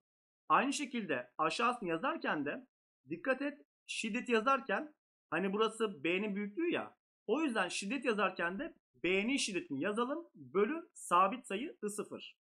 E sen logaritmada bölme varken bunların farka dağılacağını bilmiyor musun? Biliyorsun. Hemen farka dağıt. Öyleyse logaritma IA eksi Dikkat et. Logaritma I0 buradan geldi. Aynı şekilde logaritma IB eksi logaritma I0 da buradan gelmiş oldu. Peki bizden ne istiyordu? B'de meydana gelen depremin şiddeti A'da meydana gelen depremin şiddetinin kaç katıdır? Yani IB'nin IA'ya oranını istiyor. E öyleyse elimizdeki şu I0'la gitmesi lazım. Şöyle yapalım. Yukarıdaki denklemi al, eksiyle çarp ve aşağıdaki denklemi topla. Toplarsan bir kere şu ı gitti. Soldan ne geldi? 7.4'ten 5.4 çıktı. Geriye 2 kaldı. Sağdan da logaritma IB eksi logaritma IA gelmiş oldu. E arada fark varsa ve tabanlar aynıysa iki tarafı ne yapacaktım? Birbirini oranlayacaktım. Dolayısıyla 2 eşittir logaritma IB bölü IA gelmiş oldu. Şu an taban kaç? 10. 10 gitti 2 üzerine aldı. Bulduğun ifadede şuradaki sayıya eşit gelmiş oldu. Yani IB'nin IA'ya oranı 100 geldi. Sorunun doğru cevabı da Edirne çıkmış oldu. Tamam Evet geliyorum 19. soruya. Arkadaşlar bir kere şu söylediğimi sakın unutmuyorsunuz. Parabollerde karşınızda geometrik bir soru varsa soruya başlamadan sorunun çözümü için neye ihtiyacınız olduğunu görmek zorundasınız. Görmezseniz soruda kaybolursunuz. Haberiniz olsun. Şimdi bizden ne istiyor? Şuradaki taralı bölgenin alanı istiyor. Bak şimdi. Ben tam da parabolün tepe noktasından şuraya bir adet dikme indirdiğin takdirde sen tepe noktasının apsisinin R, ordinatın kim olduğunu biliyorsun, K olduğunu biliyorsun. Ben bunu indirdiğim anda ortaya iki farklı geometri şekil çıkmadı mı? Solda dik üçgen var. Sağda dikkat et dik yamuk gelmiş oldu. E öyleyse ben buradaki iki tane dörtgenin alanı toplarsam tüm alan ortaya çıkmayacak mı? Çıkacak. Nasıl bulacağım ben bunları? Dik üçgenden başlayalım. İki tane dik kenara ihtiyacım var. Bak şuradaki dik kenar için eğer ki ben K'yı biliyor olsam bu dik kenar ortaya çıkacak mı? Çıkacak. Yani bir K'ya ihtiyacım var. 2. Buradaki uzunluk için bir x ekseni kesen nokta bir de R'yi biliyor olsam bu uzunluk ortaya çıkmayacak mı? Çıkacak. Yani x ekseni kesen noktayla R'ye ihtiyacım var. Bu arada x ekseni kesen noktalar grafikleri neydi? Kökleri sakın unutma. Şimdi soruyu öyleyse bir başlayalım. Ardından dörtgeni buluruz. Şimdi öncelikle parabolün y ekseni kesen noktası belli. Y ekseni kesen nokta kaç? 3. Peki bir parabolde ya da bir fonksiyonda y ekseni kesen nokta için ben x yerine kaç yazacaktım? 0. Öyleyse x yerine 0 yazarsam buradaki parabol dikkat et. Şu x'i gitti. Geriye 2a eksi 5 kaldı. E bu ifade 3'e eşitse 2a eşittir 8'den a da 4 gelmiş oldu mu? Oldu. E o zaman ben verilen fonksiyonda a gördüğüm yere 4 yazsam benim fx fonksiyonum ortaya çıkmış oldu. Eksi x kare eksi 4x artı 3 fonksiyonu geldi. Şimdi kimlere ihtiyacım vardı? R'ye K'ya buluruz. R'nin formülü neydi? Bir formülü vardı. Eksi B bölü 2A. Şu an verilen fonksiyonda B kim? X'in katsayısı yerine yaz. A kim? X karenin katsayısı yerine yaz. Yazarsam R'miz kim geldi? Eksi 2 çıkmış oldu. E bir de R'yi alıp da yerine yazarsam çıkan sonuç bana K'yı vermeyecek mi? Verecek. Verirse eksi 2 yerine yazdım. Soldan eksi 4 geldi. Eksi 2 yerine yazdım. 8 artı 3'ten de sonuç kaç gelmiş oldu? 7 gelmiş oldu. Bunu da bulduk. Geldim kökleri bulmaya. Peki bir fonksiyonun kökleri nasıl bulunurdu? Çarpanlara ayırabiliyorsan ayır. Peki sen bu fonksiyonun çarpanları ayırabilir misin? Hayır ayıramazsın. Öyleyse ikinci derecen fonksiyonlarda çarpanları ayıramıyorsak kökleri nereden bulacaktık? İki tane yöntem. Aslında o iki yöntem de aynı da. İki yöntem diyoruz ona. Neydi bu iki yöntem? Ya unutma ifadeyi tam kareye tamamlaman gerekiyor. Ya da diğer yöntemle deltalı formülleri gideceksin. Öğrenciler nedense deltalı formülleri seviyor. Ben de oraya gidiyorum. Arkadaşlar neydi deltalı formüller? Birinci kök eksi b eksi kök delta bölü 2a. İkinci kök eksi b artı kök delta bölü 2a'ydı. Yani ne yapmam lazım? B'yi, A'yı, delta'yı burada yerine yazmam gerekiyor. Peki delta kimdi? Onu da şurada hesaplayayım. B kare eksi 4 AC'ydi. Şimdi denkleme göre B'miz eksi 4, karesi 16. Eksi 4 çarpı A'mız eksi 1, C'miz 3 gelmiş oldu. Sağdan 12 geldi, soldan 16 geldi. Burası 28 çıkmış oldu. E ben şu an B ile A'yı da biliyorum. Yerine koyarsam bu durumda birinci kök. Eksi B. B'miz eksi 4. Eksi ile eksinin çarpımı artı 4 gelmiş oldu. Bu durumda dikkatli ol. Eksi, eksi. Kök ne gelmiş oldu orası? Kök 28 geldi. Bölü A'mız kim geldi? Eksi 1. 2 ile çarptım. Burası da eksi 2 gelmiş oldu. E sen kök 28'in tam olarak 2 kök 7 olduğunu biliyor musun? Biliyorsun. Bak buradaki ifadeleri ben eğer ki eksi 2'ye bölersem birinci kök kim gelmiş oldu? Eksi 2 artı kök 7 gelmiş oldu. Birinci kökle ikinci kök arasındaki fark ne? Sadece kökün önündeki işaret değişiyor.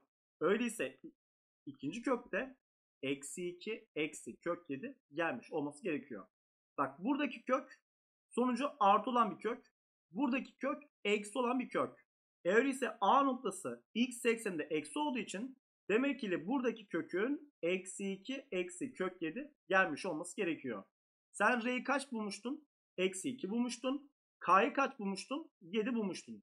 Öyleyse başlıyorum dik üçgenin alanına. Sen şu anda bana buradaki uzunluğu söyleyebilir misin? Evet söylersin.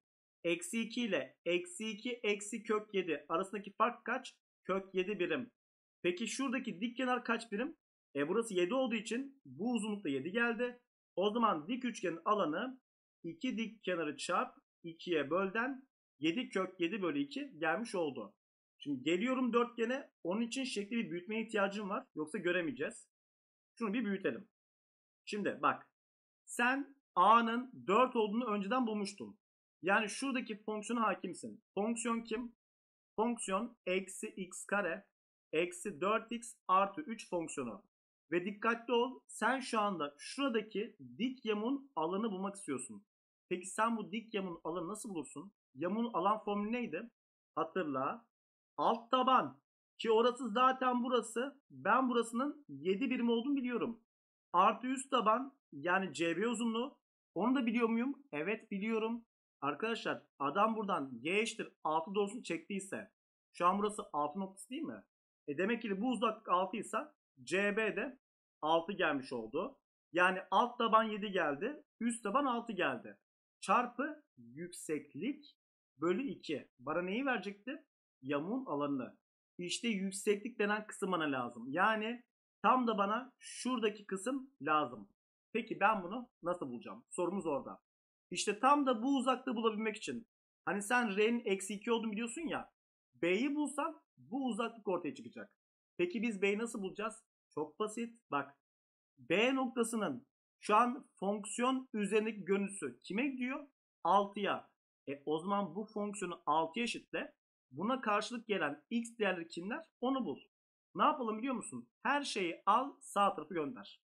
Gönderirsem x kare artı 4x ne gelmiş oldu sağdan? Artı 3 eşittir 0 gelmiş oldu. Çarpanları ayır. X'e x ne gelecek sağdan dikkat et. Artı 3'e artı 1 gelecek. E buradan x'in birinci değeri eksi 3 çıktı. İkinci değeri de eksi 1 geldi. Yani ben buradan ne anlıyorum? Sen x ekseninden eksi 1'i ve eksi 3 seçip de fonksiyonu götürürsen sonuç 6'yı çıkmış. Yani şu noktanın eksi 1 kesişen diğer noktanın da eksi 3 olması gerekiyormuş. E bitti. Bu nokta eksi 2, bu nokta eksi 1 ise aradaki uzaklık toplam kaç birim geldi? 1 birim. Yani yüksekliğimizde 1 birim çıktı. O zaman dörtgenin alanı da 13 bölü 2 gelmiş oldu. Şimdi dörtgenin alanı ne geldi dikkat et. Dörtgenin alanı 13 bölü 2 geldi. Soldaki dik üçgen alanı da 7 kök 7 bölü 2 geldi. Öyleyse sorunun doğru cevabı da 13 artı 7 kök 7 bölü 2 gelmiş oldu. Şekli bir eski haline çevirelim. Çevirirsek bu durumda cevabımız da Adana çıkmış oldu. Tamam mı arkadaşlar? Evet geliyorum 20. soruya. Arkadaşlar bir kere soruya başlamadan bu sorun çözümü için bilmeniz gereken bir özellik var. Biz buna kombinasyonda Pascal prensibi diyoruz. Özellikle şu. Şimdi sizin elinizde iki tane kombinasyon olacak ve bu kombinasyonların üstteki kısımları aynı olacak. Ve alttaki kısımları eğer ki ardışık tam sayı şeklinde artıyorsa yani birer artıyorsa bu durumda bu iki kombinasyonun cevabı üstün bir fazlası ve alttaki en büyük sayıya eşit olması gerekiyor. Bak bu durumda senin elindeki şu iki toplama bakar mısın?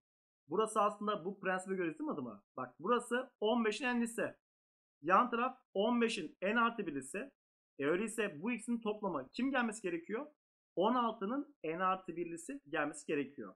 Yanda yerine yazarsam 16'nın n artı birlisi sağdan da 16'nın m'lisi gelmiş. X'inin farkını benden istiyor. Kombinasyonun bir özelliği daha var. Şunu bilmeniz gerekiyor. Eğer ki iki kombinasyon üstler aynı iken birbirine eşitse alttakilerin toplamı mutlaka üstü vermesi gerekiyor. Şimdi hatırla mesela 8'in üçlü kombinasyonuyla 8'in beşli kombinasyonu birbirine eşit miydi? Eşitti. Niye? Çünkü alttakilerin toplamı üstü veriyor. Yani bu eşitliğin sağlaması için mutlaka B ile C'nin toplamının A'yı vermesi lazım. E şimdi bak dikkat et. Şu ikisine bakar mısın? Ben burada 16'nın n artı 1'li kombinasyonuyla 16'nın m'li kombinasyonun eşit olduğunu iddia ediyorum. Niye? m ile n artı 1'i toplarsan m artı n kime eşit? 15 eşit. E bir de buradan bir ekle 16 yaptı. Yani alttakilerin toplamı üste verdi. O zaman bu ikisi aynıysa bu sorunun doğru cevabı da 0 gelmesi gerekiyor. Tamam mı arkadaşlar? Geldim kombinasyon sorusuna. Bana diyor ki sol üst köşedeki B'den başlayıp sağ alttaki şey ilerleyerek Beşiktaş kelimesi kaç farklı yolda okunur? Arkadaşlar bu çok basit soru. Yapacağınız şey şu.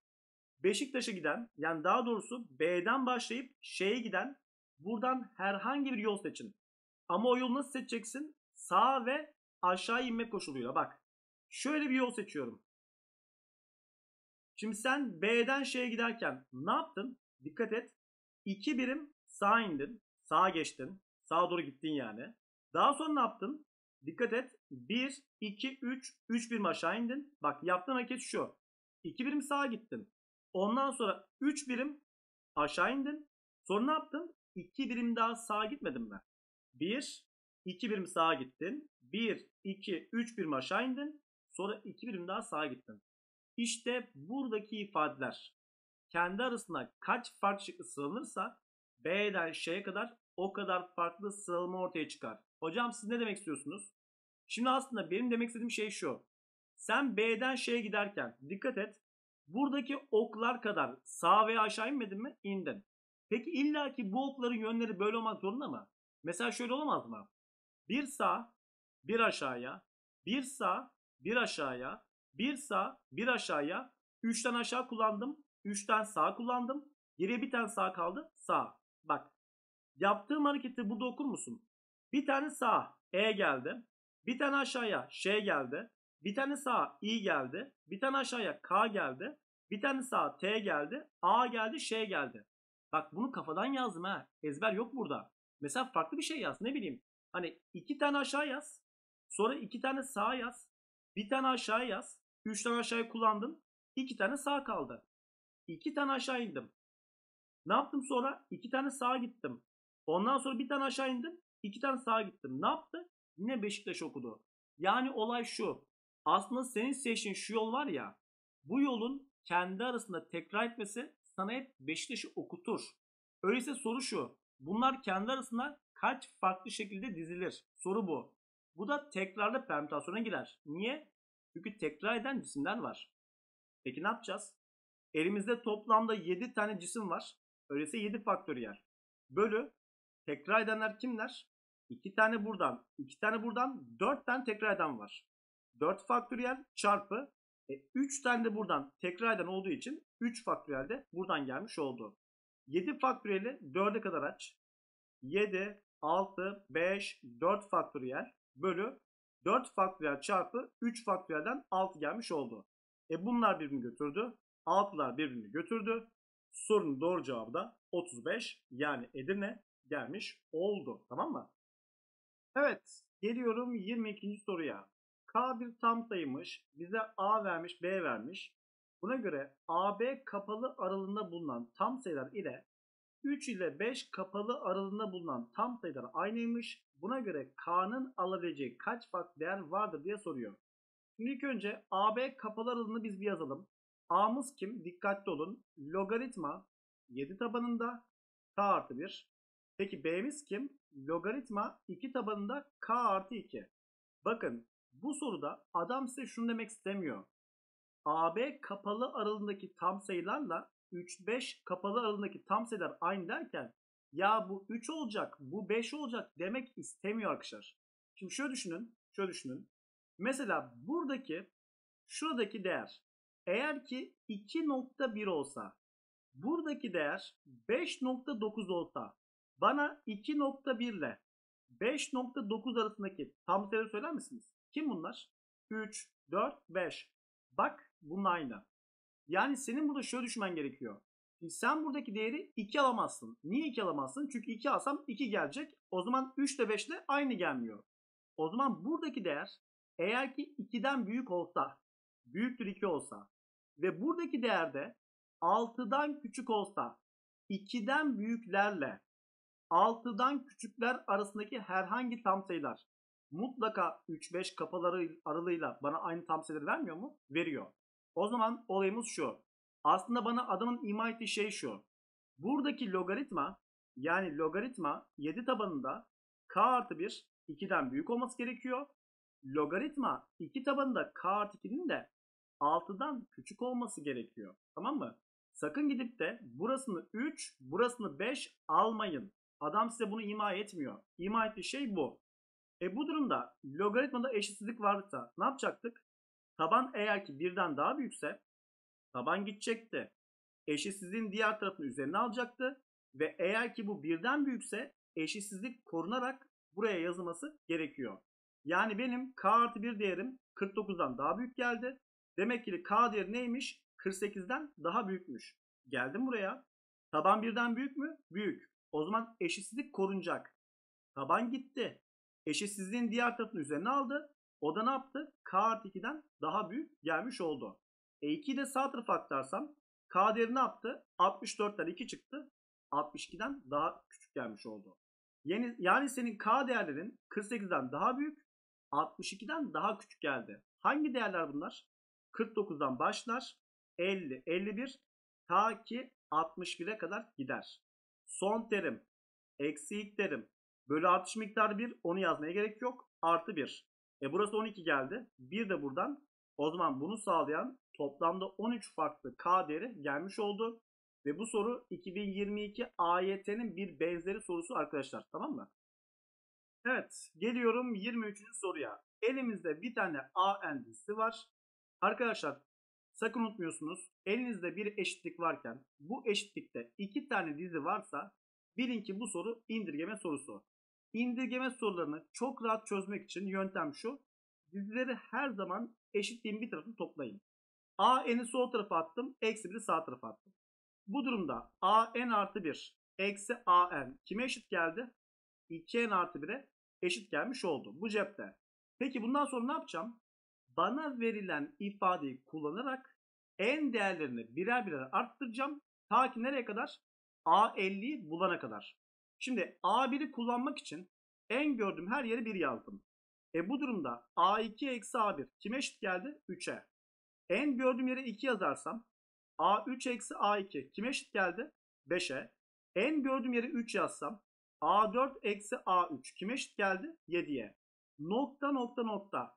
Sorum şu. Sen burada N gördüğün yere kim yazsan sonuç 50 gelecek. A 50 gelecek. 49 da olur. 50 de olur. Peki hangisi? Unutma. Mantık şu. Her zaman sana verilen değerde istenen değer arasında kalmak zorundasın. Bak sen burada en yerine 50 yazsan şuradan kim gelecek? Tamam buradan 50 gelecek ama buradan 51 geliyor. 51 bana verilen değerle istenen değer arasında değil. O yüzden sen en yerine 50 yazamazsın. Unutma her zaman verilen değerle istenen değer arasında olman gerekiyor. Yoksa yazdıkların arasından hiçbir sonuç bulamazsın. Haberin olsun. En yerine 49 yazıyorum. Yazarsam 49 yazdık. Soldan 50 geldi. Sağdan 49 geldi. Sonuçta kaç gelmiş oldu? 2 çarpı 49 98. Bir de 99 gelmiş oldu. E topla abi bunları. Toplarsak A2'ler gitti. A3'ler gitti. A4'ler gitti. Bunlar gitti. Geriye kim kaldı? A50 eksi A1 kaldı. Sağ tarafta da 3, 5, 7, 9 en son 99 kalmış oldu. Şimdi matematikte birden başlayıp 3, 5, 7 en son 2n eksi 1'in toplamı kime eşit olması gerekiyor? Arkadaşlar matematikte ardışık teklerin toplamı her zaman n kareye eşittir. Ama nereden başlaması lazım? Unutma birden. E şimdi bu durumda şuradaki ifadeler hep ardışık tek değil mi? Tek. Tek bir sıkıntımız var. Birden başlamıyor. Birden başlaması için buna bir ekliyorum. Bir de ne yapıyorum? Çıkartıyorum. E öyleyse sondaki terimin de 2n eksi 1 olması gerekmiyor mu? Yani 2n eksi 1 eşittir 99 ise 2n de kime eşit geldi? 100'e. n de buradan kime eşit geldi? 50'ye. E bunun cevabı eğer ki n kare ise demek ki de şuradaki toplamların sonucu 50'nin karesi gelmiş oldu. Sağdan bir eksi 1 geldi. Soldan da a50 eksi a1'in 2 olduğunu biliyorum. 2 gelmiş oldu. Peki 50'nin karesi kime eşit? 50'nin karesi hatırlayın 2500'e eşit. Sağdan bir eksi 1 geldi. Soldan da A50 eksi 2 gelmiş oldu. Öyleyse eksi 2 de sağ tarafa atarsam sorunun doğru cevabı 2501 yani Edirne çıkmış oldu. Tamam mı? Olayımız bu kadar. Geliyorum fonksiyon sorusuna.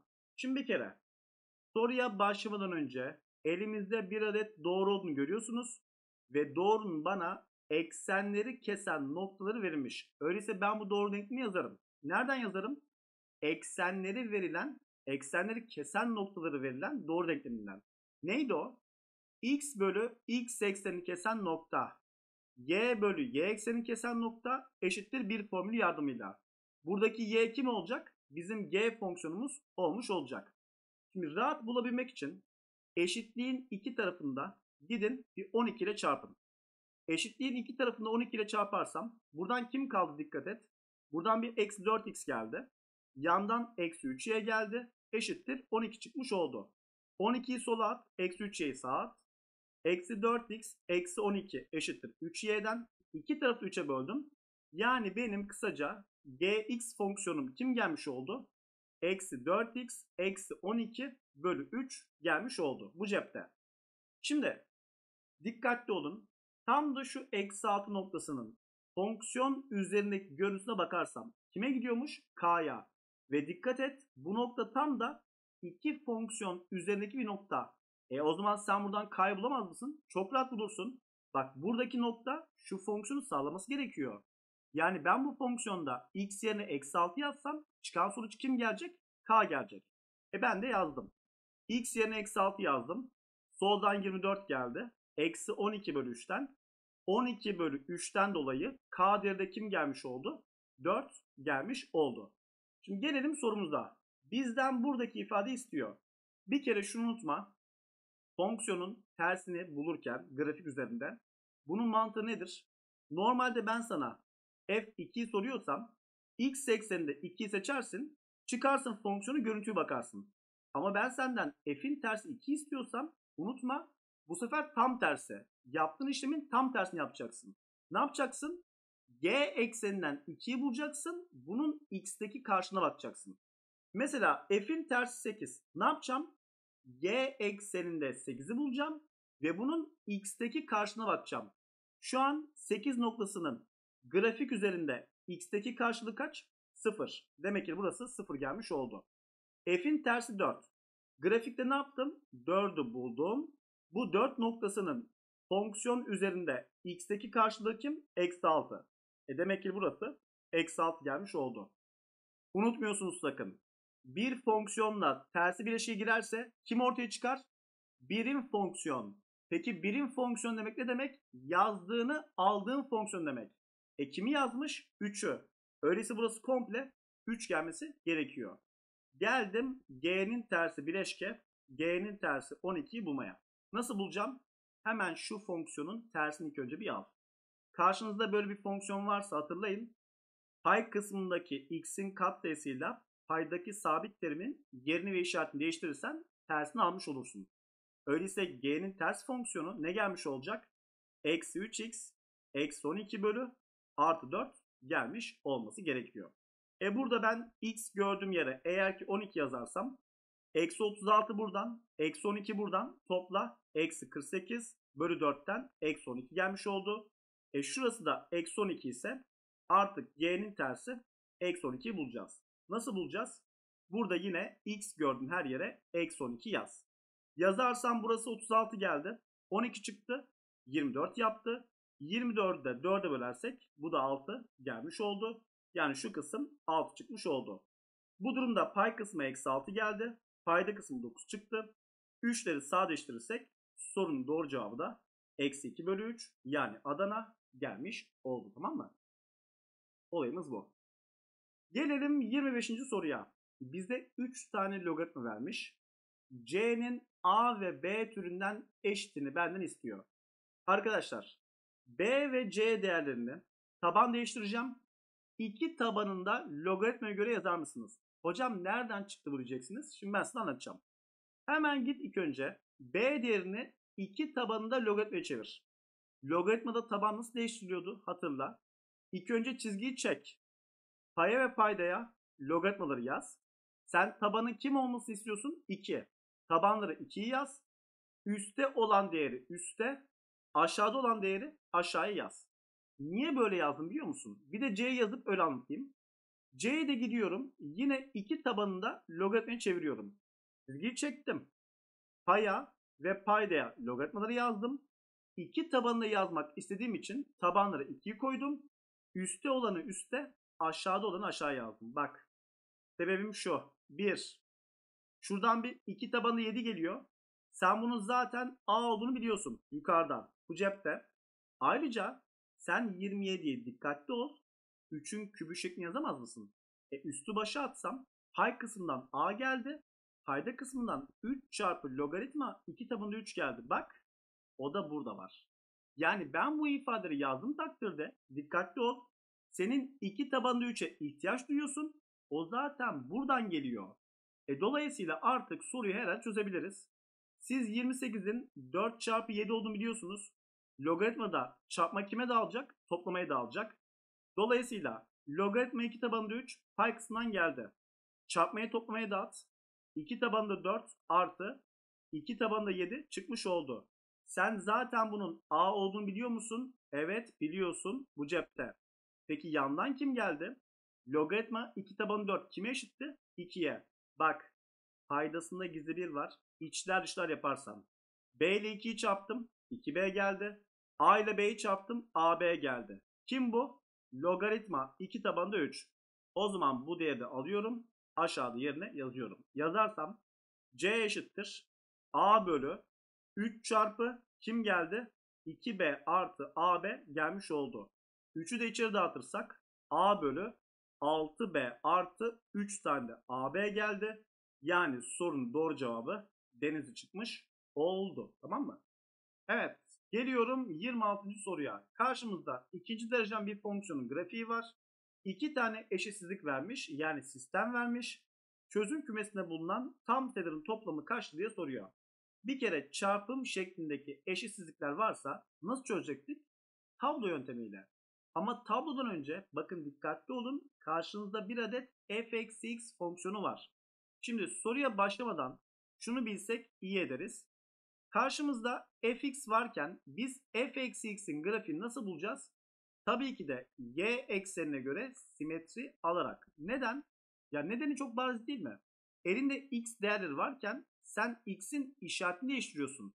Mesela 2 varken eksi 2 olacak. Eksi 4 varken işaret değiştir 4 olacak. İşte y'ye göre simetri almak demektir bu. O zaman ilk önce biz gidelim f eksi x fonksiyonunun grafiğini bir çizelim.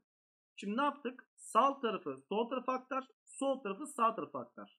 Öyleyse ortaya şöyle bir grafik gelmeyecek mi bak? Geldi, döndü, gidiyor. Tepe noktasının apsisi dikkat et buradayken artık sağ tarafa gitmesi gerekiyor. O yüzden burasının eksi 2, şurasında 4 olması gerekiyor. İşte bu f eksi x'in grafiği. Şimdi ilk önce kökleri bir bulalım. Şuradaki x kare eksi 6x artı 8'e ilk önce bir çarpandan ayır. x'e x eksi 4'e eksi 2 geldi. Buradan birinci kök 4 geldi. ikinci kökte 2 çıkmış oldu. Yani bunun kökleri 4'e 2 geldi. Peki biz grafikten kökleri nasıl bulacaktık?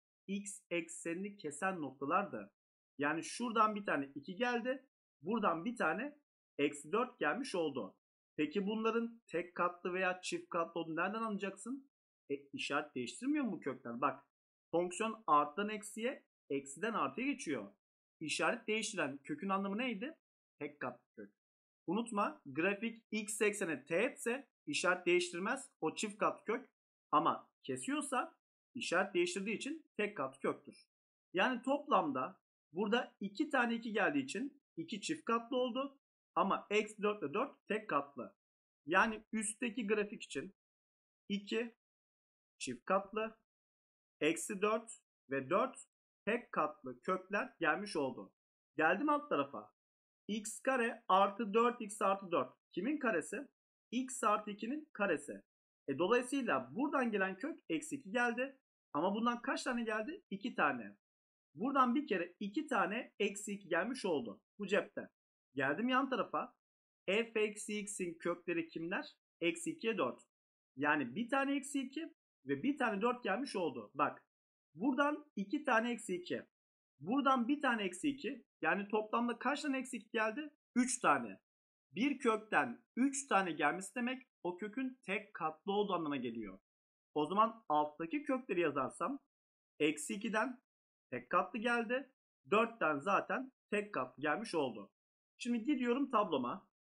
Hemen gidelim. Şu sayı doğrusunu çekelim. Çektikten sonra iki farklı eşitsizlik olduğu için ne yapmak zorundayım? Tabloyu ortadan ikiye ayırmak zorundayım. Sen bir kere şurasının eksi sonsuz, burasının artı sonsuz olduğunu biliyorsun. Şimdi bütün kökleri buraya bir diz. Eksi 4 buradan geldi. Burada bir eksi 2 var. Başka kim var? 2 var. Ve ardından da 4 gelmiş oldu. Üstteki fonksiyonu şuraya yazalım. x kare eksi 6x artı 8 çarpı fx fonksiyonu büyüktür 0. Alttaki fonksiyonu şuraya yazalım. x kare artı 4x artı 4 çarpı f eksi x büyüktür eşittir 0 geldi. Şimdi üsttekinin kökleri kimlerdi? 2, eksi 4, 4. Eksi 4'ten bir tane kök çektim. 2'den çektim. 4'ten çektim. Eksi 2'den çekmeye gerek yok çünkü kökü değil. 2 nasıl kök? Çift katlı. 2 tane yuvarlak koydum. 4'te tek kat kök var. Eksi 4'te tek katlı var. Eşitlik var mı? Yok. O yüzden içleri boş olması lazım. Alttaki kökler eksi 2 çektik. 4'ten çektik. Bu kökler tek katlı yuvarlak koydum. Eşitlik var mı? Var. O zaman içinin dolu olması gerekiyor. Şimdi geldim en önemli yere işareti başlamaya. Bir kere dikkatli ol. Çarpım şeklindeki fonksiyonlarda sen işaret nasıl bakacaktın? Ayrı ayrı. Şimdi burada soldaki fonksiyonda derecenin katsayısına artı. Sağdaki fonksiyonda işaret nasıl bakacaksın? Grafikte işarete bakarken nereden başlayacağın çok önemli. Sen normalde tabloda işareti başlarken nereden başlayacaksın? 4'ün sağ tarafından yani 4'ten büyük yerlerde. O yüzden şunu kontrol etmen gerekiyor. Grafikte 4'ten büyük yerlerde işaret nereye gidiyor? Nereye gidiyor? Eksiye. E artıyla eksinin çarpımı eksi olduğu için tabloya eksiyle başladım. Tek katlı işaret değiştirdi. Çift katlı işaret değiştirmez. Tek katlı işaret değiştirdi. Geldim aşağıya. Derecenin katsayısı artı. Geldim sağ tarafa. 4'ün sağ tarafında. Bu fonksiyon işaret olarak kime gidiyor? Eksiye. Eksi ile artının çarpımı eksi gelmiş oldu. Tek katlı kök artı geldi. Tek katlı kök eksi geldi. Dikkatli olun. Bundan sonra kim istiyor? Artıları tara. Artıları tara. Kim istiyor? Artıları taradım. Şimdi ne yapacağız? Bu durumda hem yukarıda hem de aşağıda taranan yerler senin ortak köklerin yani çözüm kümesinin elemanları olmuş olacak. Onu da şurada yazalım. Bak dikkat et. Şuradan başlıyorum. Bir kere şuraya kadar ortak mı? Ortak. Bir de şu kısım ortak değil mi? Ortak. Şimdi bir kere eksi 2'den bir başlayalım. Eksi 2 yukarı taranmış mı? Taranmış. Yani eksi 2 yukarıda var. Eksi 2 aşağıda var mı? Evet var. O yüzden eksi 2 dahil etmek zorundasın bu cepte. E dikkatli ol. Ya aslında şöyle söyleyebilir miyim bak. Uzatmaya gerek yok. Ben eksi 2'den başlayıp 4'e kadar. 4'e kadar. Buradaki aralıklarda sadece kimi taramıyorum? 2'yi. Neden? Çünkü 2 yukarıda alınmamış, aşağıda alınmış. O zaman şöyle bir şey yazabilir miyim? Eksi 2'den 4'e kadar her yeri yazalım. Ama kim dışında? 2 dışında. Peki 4'e alacak mısın? Hayır almayacaksın. Neden? Yukarıda almamış, aşağıda almış. Bir tarafta almamışsa alamazsın. O yüzden 4'ü açık bıraktım. E şu anda bu aralıktaki tam sayılar kimler? Eksi 2, eksi 1, 0, 1, 2 alamazsın, 3. Benden bunların toplamını istiyor. Eğer ki toplarsan sağdan 4 geldi, soldan eksi 3 geldi. X'in toplamı da 1 yaptı. Yani sorunun doğru cevabı Ceyhan gelmiş oldu. Geliyorum artık geometri sorularına. Şimdi bir kere siz trigonometride pi'nin 180 olduğunu biliyorsunuz. Yerine yazarsanız 180 bölü 18'den 10 geldi. Yani burası sinüs 50 çıkmış oldu. Aynı mantıkta kos 50 geldi. Burası da tanjant 50 gelmiş oldu. Sıralama yapmak için dönüştürebileceğin trigonometrik fonksiyonları birbirine dönüştür. Bak bir kere birbirini 90'a tamamlayan iki açıdan birinin kosinüsü diğerinin kimine eşitti? Sinüsüne. 50'yi 90'a tamamlayan açı kaç derece? 40. Demek ki bu açının sinüs 40'a eşit olması gerekiyor. İlk önce sinleri bir sıralayalım. Şimdi dikkatli olun bu açılar düzlemde birinci bölgede. Birinci bölgede sinüs 0 kime eşit? 0'a. Peki sin 90 kime eşit? 1'e. Ben buradan ne anlıyorum? Birinci bölgede açı arttıkça değer de artıyor. Yani açısı büyük olan her zaman daha büyük olması lazım. Öyleyse bir kere B değeri A'dan daha küçük geldi. Şimdi soru şu. Tanjant 50 mi daha büyük? Sin 50 mi daha büyük? Arkadaşlar burada kıyaslayacağınız yer kesinlikle tanjant 45. Tanjant 45 kaçtı? 1. Şunu sakın unutmuyorsun. Tanjant 45'ten daha büyük açı değeri alırsa bunun sonucu her zaman birden daha büyük değer alır. Yani tanjant birde kalmaz. Açı değeri 45'ten daha büyük olursa sonuç her zaman birden de büyük olur. E dolayısıyla ben buradan ne anlıyorum? Anladığım şey şu. Kesinlikle tanjant 50. Birden büyük olması gerekiyor mu? Gerekiyor. Tanjant 50 birden büyükken sen sinüsün açı ne olursa olsun alabileceği değer aralığının kaç olduğunu biliyorsun? Maksimum 1. E ben tanjant 50'nin zaten kesin birden büyük olduğunu biliyorum. O zaman en büyüğünün de tanjant gelmesi gerekiyor. Yani cevabımız da BAC ile Adana gelmiş oldu. Tamam mı? Olayımız bu kadar. Ya bu arada şunu bilmeyen için bir açıklayayım mı? Tanjant 50 niye birden büyük? Şimdi birim çember çekelim bir tane. Birim çember. Sen birim çemberde burasının 1, burasının 1, eksi 1, eksi 1 olduğunu biliyorsun. Ve tanjant eksen hangi eksendi hatırla. Tam da x eşittir 1 doğrusuydu. Bak. Tanjantın aldığı değerler ne biliyor musun? Değerler şunlar. Orijinle şuradaki x eksenini bağlayan doğruların uzaklıkları ne kadar olursa unutma tanjantta o mesafe sahip olacak. Şimdi diyelim ki tanjant 0. Hadi sıfırdan başlayalım. Tanjant 0 kime eşitti? Sıfıra. Niye? Çünkü sen sıfır noktasından şuraya bir doğru çekersen bak bu doğru şu anda şu doğru üzerine bir yer taradı mı? Tarayamadı. O yüzden 0 derece. Ama şuradan bir açı yapsam şöyle. Ne kadarlık kısım taradı? Bu kadarlık. İşte bu kısım dikkat et tanjant alfanın değeri olmak zorunda. İşte eğer ki bu açı 45 olursa 45 olursa buradaki değer tam 1 eşit olmuş olur. Dolayısıyla 45'ten büyük olan yerler birden daha büyük olmuş olur. O yüzden bu da birden büyük gelir. Haberin ola tamam mı? Geliyorum 28. soruya. Katlama sorusu. Bak katlama sorularında daha soruyu görür görmez yapman gereken birkaç tane hamle var. Neydi o? Katlama sorularında 1. Açıortayı göstermek zorundasın. 2. Aynı olan aynı olan açıları göstermek zorundasın. 3. Aynı olan kenarları göstermen gerekiyor. Açı ortayla başlayalım. Ne demek burada açı ortay? Unutma sakın senin üçgenin hangi doğruya göre katlanmışsa o açının açı ortay olması gerekiyor. Senin buradaki AB ABE üçgenin hangi doğruya göre katlandı? AE. Demek ki de burası açı ortay, burasında açı ortay olması gerekiyor. Bu cepte. Peki benden kim istiyor? Tanjant alfayı. Gelelim aynı olan açılara, aynı olan kenarlara. Bak sen bu B'yi alıp da buradan B üstüne verdiysen yani katladıysan e, bu açı 90 dereceyken çünkü şekil bir dikdörtgen bu açının da 90 olması gerekmiyor mu? Aynı zamanda sen B'yi B üstü yaptıysan bu kenarla bu kenar ve şu kenarla şu kenarın eşit olması gerekiyor bu cepte. Şöyle yapalım. Sen bu açının tamamının toplam kaç olduğunu diyorsun? 180. 2 alfa artı beta eşittir 180 ise at beta'yı karşı tarafa. 2 alfa kime eşit geldi? 180 eksi beta'ya. Bak kimi arıyorum? Tanjantı. O yüzden iki tarafında tanjantını al. Yani tanjant 2 alfa kime eşit geldi? Tanjant 180 eksi beta'ya. Peki bu kim?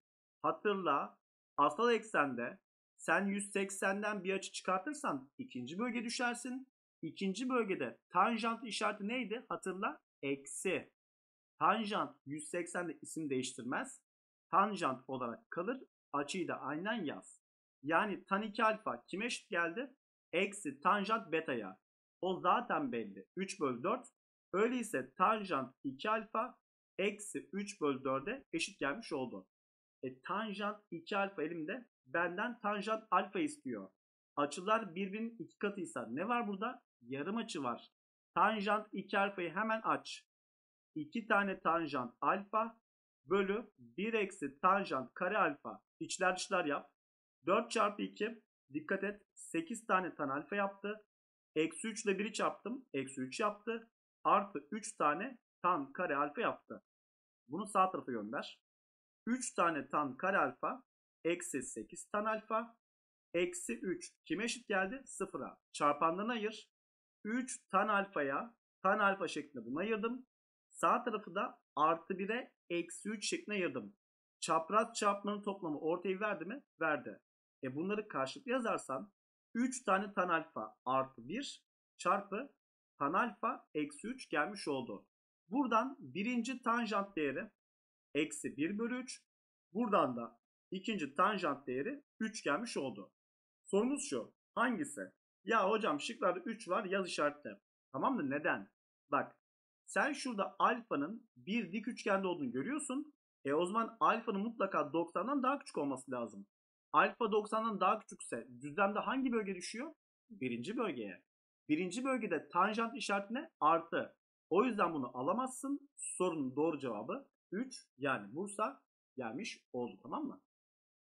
Geliyorum 29. soruya. Bak karşımızda bir adet grafik var. Grafiğin sen bana hemen periyodunu bulabilir misin? Çok rahat bulursun. Grafik şu an nerede başladı? 1'de başladı. Çıktı, indi, tekrar 1'e nerede geldi? Burada geldi. Periyot demek ne demekti? Bana grafiğin tekrar ettiği aralığı bul demekti. Grafik burada başladı, burada aynı yere geldi. Yani benim elimdeki bu grafiğin periyodu bir kere 2 pi olması gerekiyor. Peki biz karşımızda sinüs varken periyodu nasıl bulacaktık? Bu sinüsün üstüne bağlıydı. Üst tekse ki şu an tek, periyot hatırlayın 2 pi bölü x'in katsayısının mutlak değeriydi. Şu an x'in katsayısı c, o yüzden mutlak değer c geldi. İşte bunun 2 pi'ye eşit olması gerekiyor. E bu 2 pi eşit olacaksa bu durumda benim c değerim kime eşit gelmiş oldu? 1 eşit gelmiş oldu mu? Oldu. Bir kere bu cepte.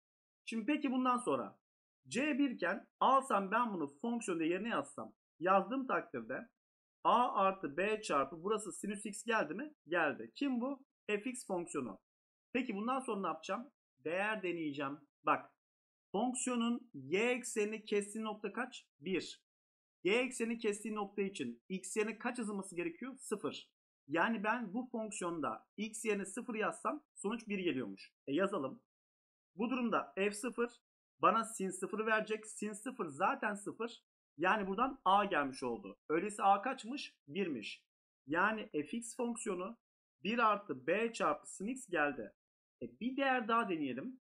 Bak dikkat et. Sen bu fonksiyonda 90 derecenin kime gittiğini biliyorsun? 3'e. Yaz yerine ben şu fonksiyonda x gördüğüm yere yani bunda x gördüğüm yere 90 yazarsam 1 artı b çarpı sin 90 gelmiş oldu. Ve sonuç kime gidiyormuş? Dikkat et 3'e gidiyormuş. E sen sin 90'ın kaç olduğunu biliyorsun? 1. Bir de sağ tarafı gönderdim. B'de kaç geldi? 2. Bitti. B'miz 2 geldi. A1 geldi. C1 geldi. Sorunun doğru cevabı da Adana çıkmış oldu. Tamam mı?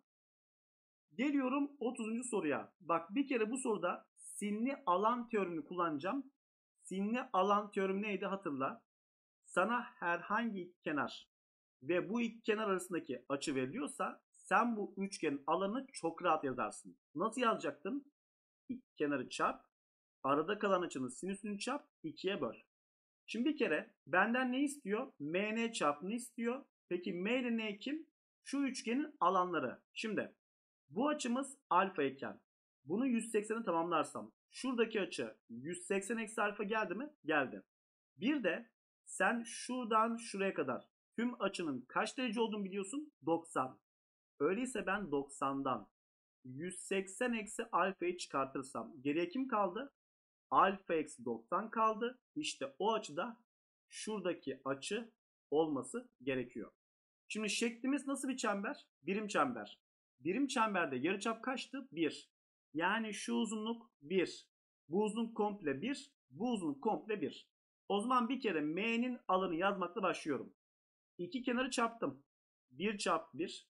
Arada kalan açının sinüsü yani sinüs alfa eksi 90 bölü 2 gelmiş oldu mu? Oldu. Şimdi bak. Şurada hemen sinüs alfa eksi 90'ı bulalım. İçerisine eksi parantezini al. 90 eksi alfa gelecek. Sinüs eksi ne yapardı? Başa atardı. Eksi sinüs 90 eksi yaptı. Şimdi sen bir kere 90'dan bir açı çıkartırsan kaçıncı bölge düştün? 1. Birinci bölgede sin işareti arttı. Artıyla eksinin çarpımı eksi geldi. Sin 90'da isim değiştirir. Kos olur. Açıyı da aynen yaz.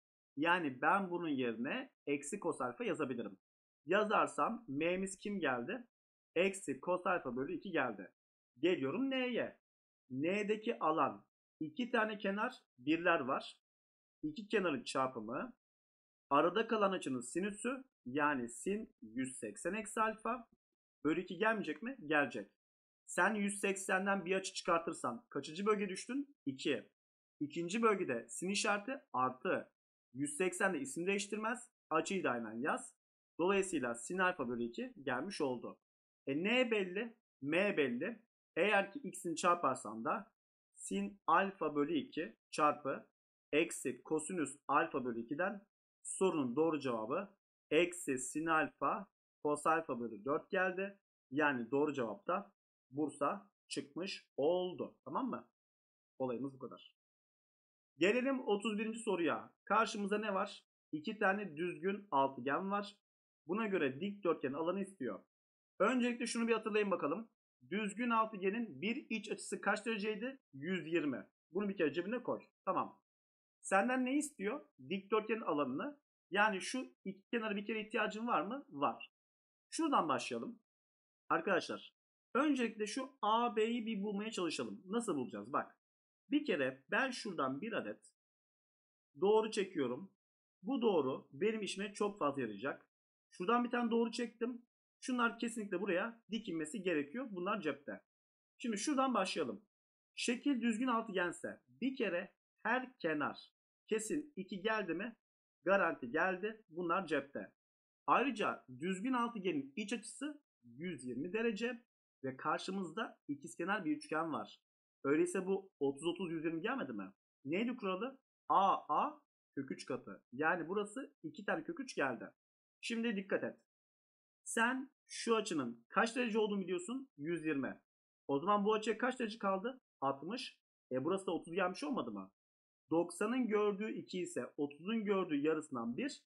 60'ın gördüğü de kök 3 katından kök 3 geldi. Yani bu uzunlukta 1 kök 3 geldiği için CB'nin tamamı dikkat et 3 kök 3 gelmiş oldu. Geldim aşağıya. Bak aynı şeyler bunun için geçerli. Dikkatli ol. Sen bir kere bu açı 30 sa şu açının 60 derece olduğunu biliyorsun. 90 sa 30 da burası geldi.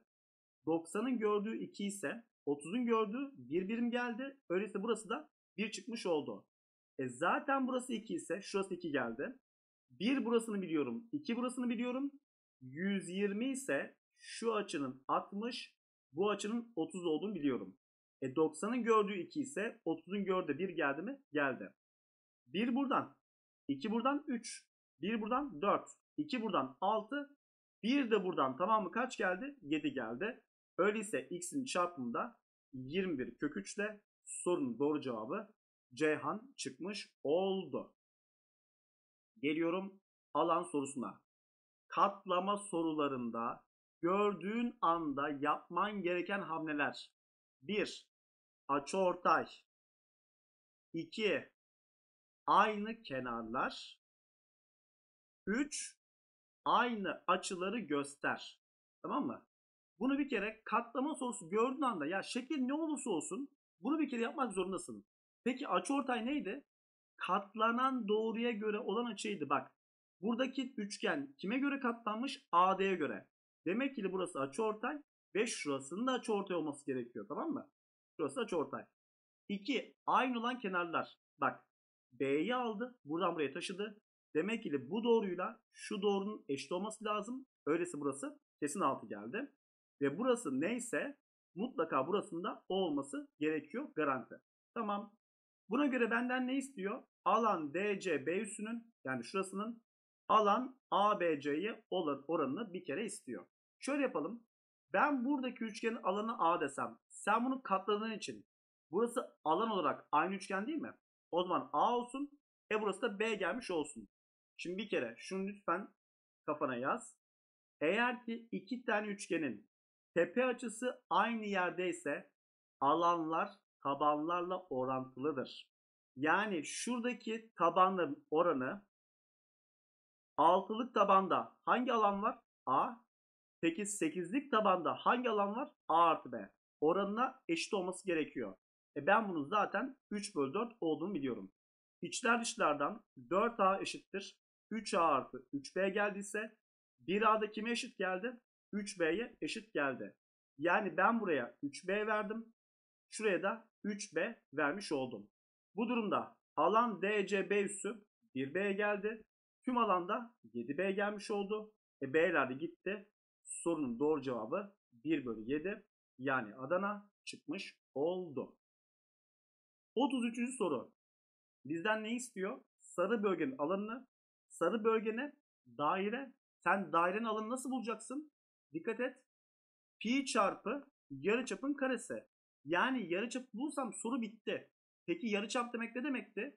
Merkezi yaya bağlayan doğru. Yani benden şurayı istiyor. Nasıl bulacağım? Bak A merkez dikkatli ol. Arkadaşlar bir üçgende 30, 45, 60 gördüğünüz zaman yapmanız gereken bir hamle vardı. Neydi o? Dikindir. Bir yerden bir dikindir. Bak gidiyorum hemen. Şuradan bir tane dik indiriyorum.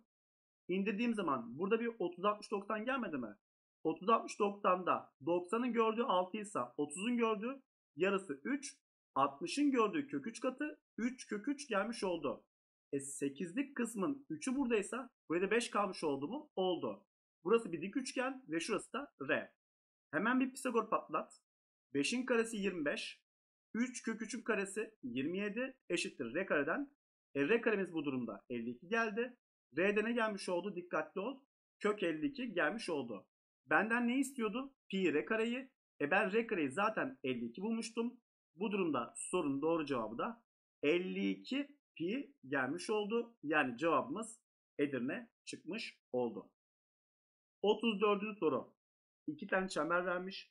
Ve bu çemberlerde çok önemli bir nokta var. Teğet. Arkadaşlar şu söylediğimizi sakın unutmuyorsunuz. Soru ne olursa olsun. İki çember teğetse bir şey yapman lazım. Ne yapacaksın? Ortak doğruyu, teğet doğrusunu senin çizmen beklenir. Niye biliyor musun? Çünkü bu sana unutma teğet kiriş açısını kazandırır. Teğet kiriş açısını. Bak şimdi. Karşında şöyle bir çember var. Diyelim ki ben şu kirişi çektim. Sen şuradan bir tane doğru çekersen. O zaman şurada kalan açının ismi ne olur? Teğet kiriş açı olur. Ama sen bunu çekmeden önce böyle bir açı yoktu hatırla. Doğru mu? Doğru. Şimdi nereden başlayalım? Bak şimdi. Bir kere şuradaki doğruyu düzgün yapalım. Şöyle bir uzatalım. Şimdi ben bunu bu şekilde uzattığım zaman dikkatli ol. A noktası çemberin merkezi mi? Merkezde. O zaman şu bağladığım doğrunun ismi hepsi ne oldu? Çap. Bu garanti. Peki hatırlayın. Çevre açının mantığı neydi? Gördüğü yay uzunluğu her zaman iki katıydı. Yani bu açı 25 ise gördüğü yay uzunluğu burada kaç derece geldi? 50 gelmiş oldu. Bak şöyle bir mantığı vardı hatırla. Çevre açı demek ne demekti? Yay üzerinde bir açı varsa gördüğü yay her zaman iki katı olacaktı. Bunu bir kere yazdım. E şimdi şöyle düşün.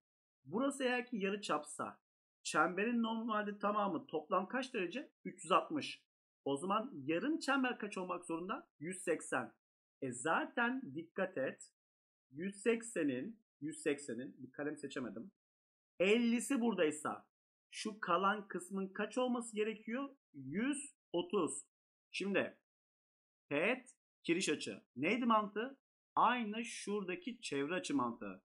Ben bu açıya alfa dersem yayda gördüğü açı iki katı olması lazım. Bak o zaman ben şuradaki açıya alfa desem yayda gördüğü uzunluk iki katı gelmeyecek mi? E 2 alfa 130 sa o zaman bu açı 65 gelmiş oldu. Peki sana söylüyorum bu açı 65 derece ise bu açıyla bu açılar nasıl açılar? Ters açılar yani eşit olması gerekiyor. E bak bu da aynı. Şurası bir kiriş. Şurası teğet doğrusu. O zaman yayda gördüğü uzunluk iki katından 130 derece gelmesi gerekiyor. Peki buradaki açının ismi ne? Dış açı. Bir tane çember var. Elinde iki tane doğru var. Ve dışarıda bir adet açı varsa sen bu açıyı nasıl bulacaksın? Çok basit. Şuradaki yay uzunluğuna A ver. Buna B ver. İkisinin farkını yaratı bana alfayı verir. Öyleyse 35 derecenin kime eşit olması gerekiyor? Büyük açı 130 eksi. Şuradaki yay uzunluğu ne geldi? EF geldi. Onu şöyle yazalım. Bölü 2'nin bana kimi vermesi lazım? 35'i. İçler dışlardan 130 eksi EF yayı 70 eşit geldi. E buradan da EF'nin 60 yani sorunun doğru cevabı Denizli gelmesi gerekiyor. Tamam mı? 35. Şekil 1'de verilen küp biçimdeki tahta blok noktalı çizgiler boyunca kesilerek kare prizma biçiminde eş, unutma eş, iki parçaya ayrılmış. Daha sonra bu parçalar şekil 2'deki gibi birleştirilmiş. Başlangıçta kübün hacmi 64. Arkadaşlar kübün hacim formülü neydi? Bir ayrıtının kübüydü. E o zaman neyin kübü 64 yapar? 4'ün. Demek ki buradaki kübün aslında her kenar uzunluğu 4 olması gerekiyor. Bak başlangıçta ne yaptı? Eş iki parça ayırdı. Demek ki şu uzunluk 2, bu uzunluk 2 gelmiş oldu. Şimdi almış bunları. Bir tanesini ters çevirmiş. O zaman anlıyorum ki bak şu uzunluk buraya gelmişse burası 2 olması gerekiyor. Burasının 4 olması gerekiyor. Bak şu uzunluğunda 4 gelmesi gerekiyor. E sen şu uzunluğunun 2 birim olduğunu bildiğin için o zaman şu uzunluk 2 ise buraya 2 kalmış olacak mı? Olacak. Peki ben şu AB uzunluğunu nasıl bulacağım? Şimdi bak bunu gözünden önce şöyle canlandırırsın. Muhtemelen odada veya kütüphanede bir yerdesin değil mi? Şimdi odana bak. Odanda tam böyle yukarıda hani e, duvarla tavanın birleştiği, kesiştiği yer var ya. Tam o noktayı diğer noktaya bağla. Bağladığın zaman o uzunluk işte AB uzunluğu tamam mı? Peki sen bu AB'yi nasıl bulursun? Şimdi o bağladığın nokta var ya oradan yavaş yavaş aşağı doğru bir ip uzat. Uzat o ipi. Uzattığın zaman şimdi yerden de bir tane ip gönder. Nereden? Bu noktadan ta köşeye. Şimdi o indirdiğin iple yerden gönderdiğin ip nasıl kesişecek?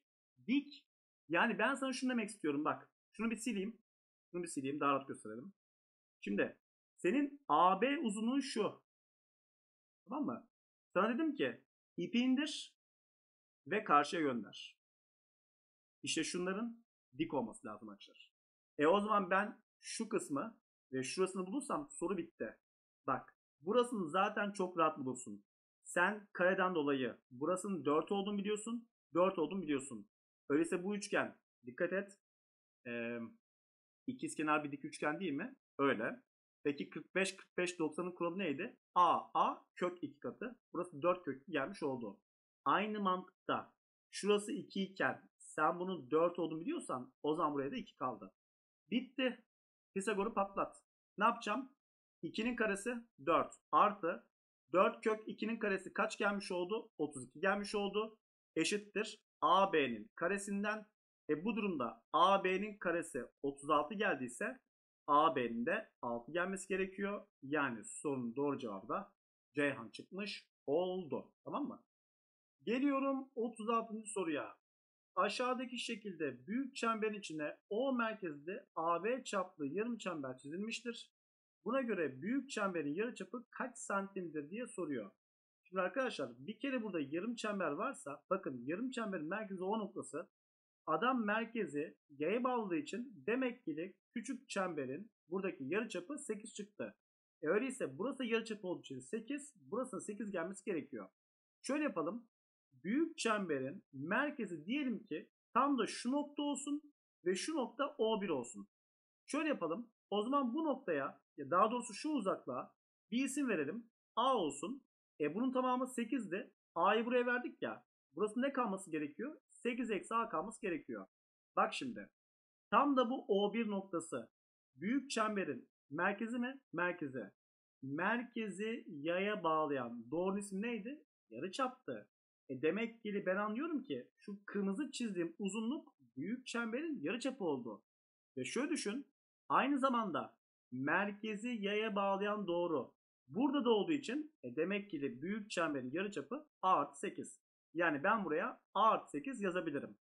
Şimdi eğer ki karşınızda bir dik üçgen oluştuysa hemen Pisagor yapmayın. Bir özel üçgen deneyin. Sen bir kenarı 8 olan hangi özel üçgen biliyorsun? 6, 8, 10. Sağlıyor mu kontrol et. Burasının 6 olması için A'nın 2 olması lazım. Bak sağladı. Demek ki ben A'yı kaç buldum? 2 bulmuş oldum. Eğer ki A'yı 2 bulduysam dikkatli ol. Benden ne istiyor? Büyük çemberin yarıçapını istiyor. E büyük çemberin yarıça- yarıçapı A artı 8'dir. A'yı da 2 bulduk. O zaman yarıçapta 10 gelmiş oldu. Geliyorum 37. soruya. Aşağıdaki şekilde bir kare dik piramidin içine bir dik dairesel silindir yerleştirilmiştir. Silindirin taban yarıçapı 1 birim. Piramidin taban ayetin uzunluğu 4 birim ki buraya yazmış. Piramidin hacmi 32 birim küptür. Silindirin hacmi en fazla. Şimdi arkadaşlar silindirin hacmi en fazla derken bana ne demek istiyor? Senin buradaki piramidin içine en büyük hacimli silindiri yerleştirmen için bak şu noktaların tam da buradaki piramide teğet olması lazım. Hani teğet olsun ki daha büyük sığmasın içine. Mantık o. Bir kere piramidin hacim formülü neydi? Unutma sivri uçlularda hacim formülü şudur. Taban alanı çarpı yükseklik yükseklik bölü 3 bana neyi verir? Hacmi verir. E bir kere taban zaten belli. Tabanımız ne? Kare. Ben karenin alanını nasıl bulacağım? Bir kenarın karesinden 16 gelmiş oldu. Yüksekliğe h dedim. Bölü 3. Kime eşit geldi? 32'ye. E buradaki 16 ile 32 sadeleşti. 2 kaldı. H'da ne gelmiş oldu? 6 gelmiş oldu. Yani elimizdeki piramidin yüksekliği kaç geldi? 6 geldi. Bak şimdi olay şu. Sen tam da şu sivri olan noktadan aşağıya bir adet doğru çekersen çektiğim bu doğru tam da piramidin neyine inmek zorunda? Orta noktasına. Orta noktasına inmesi gerekiyor. E şimdi o zaman mantığım şu. Ben bir de eğer ki bu noktadan şu noktaya doğru bir doğru çekersem. Bak dikkat et. Şöyle bir doğru çektik. Çektiğimiz zaman dikkatli ol. Oluşan üçgeni görebiliyor musun bak. Şuradan da bir tane doğru çektim. Tam teğet olacak biçimde. Ortaya şöyle bir tane dik üçgen çıkmadı mı? Çıktı. Şimdi sen normalde karenin bir kenar uzunluğunun ne olduğunu biliyorsun? 4 olduğunu biliyorsun. Ama bu yükseklik tam merkeze ineceği için şuraları iki eş parça ayırması lazım. Yani bir kere şu uzunluk kaç birim geldi? 2 birim geldi. E sen tam da şu uzunluğunda dikkat et. Burası silindirin de merkezinden geçeceği için dikkat et şuradaki uzunluk şu dairenin ya da çemberin yarıçapı olması gerekiyor. Niye? Çünkü yükseklik tam merkezden geçiyor. E dolayısıyla burası bir birim olması gerekiyor. Çünkü taban yarıçapı bir birimmiş. Tabanla üstteki ifade aynı olması gerekiyor. Bundan sonra başka. Şimdi ben şuradaki silindirin yüksekliğine ne diyeyim mesela H1 diyeyim. E sen bütün yüksekliğin kaç olduğunu biliyorsun? 6 olduğunu bilmiyor musun?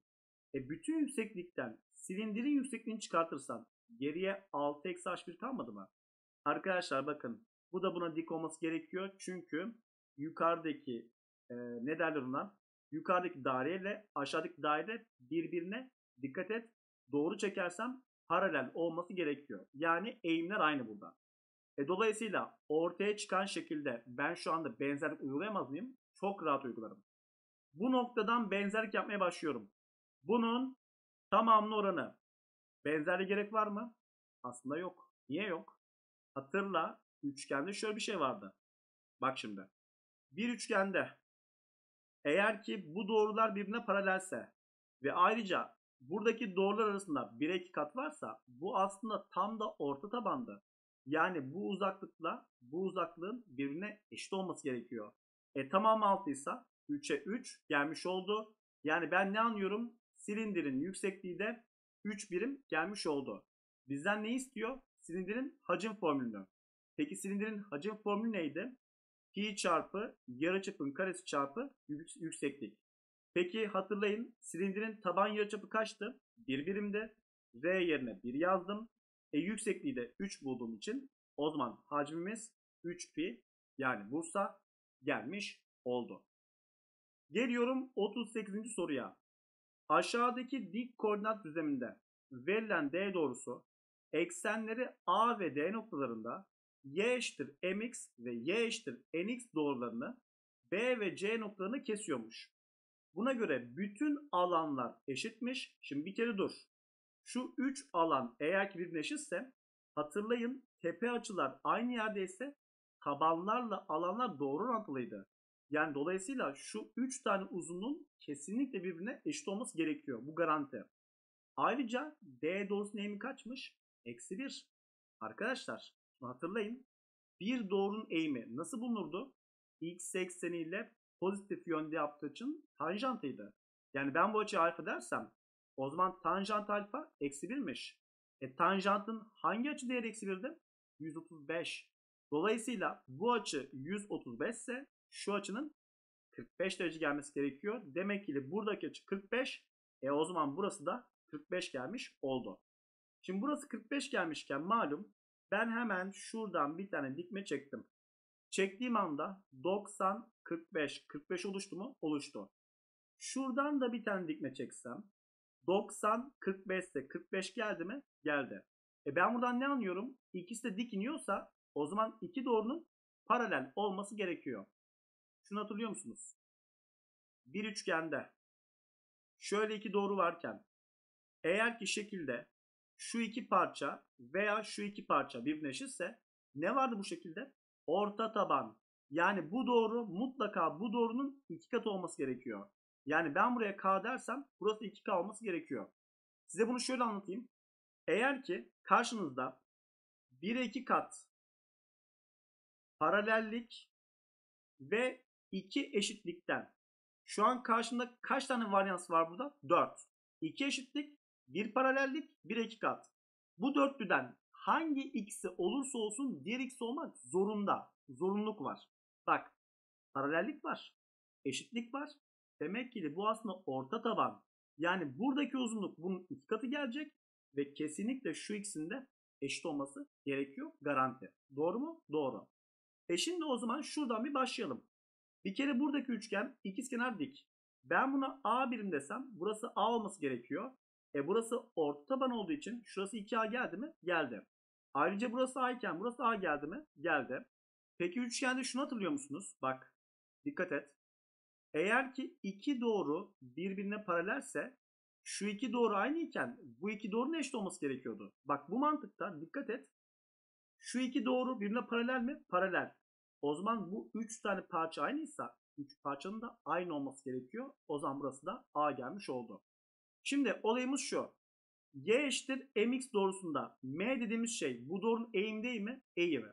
Peki eğim dediğimiz şey o doğrunun x ekseniyle pozitif yönde yaptığı açının tanjant değil miydi? Tanjantıydı.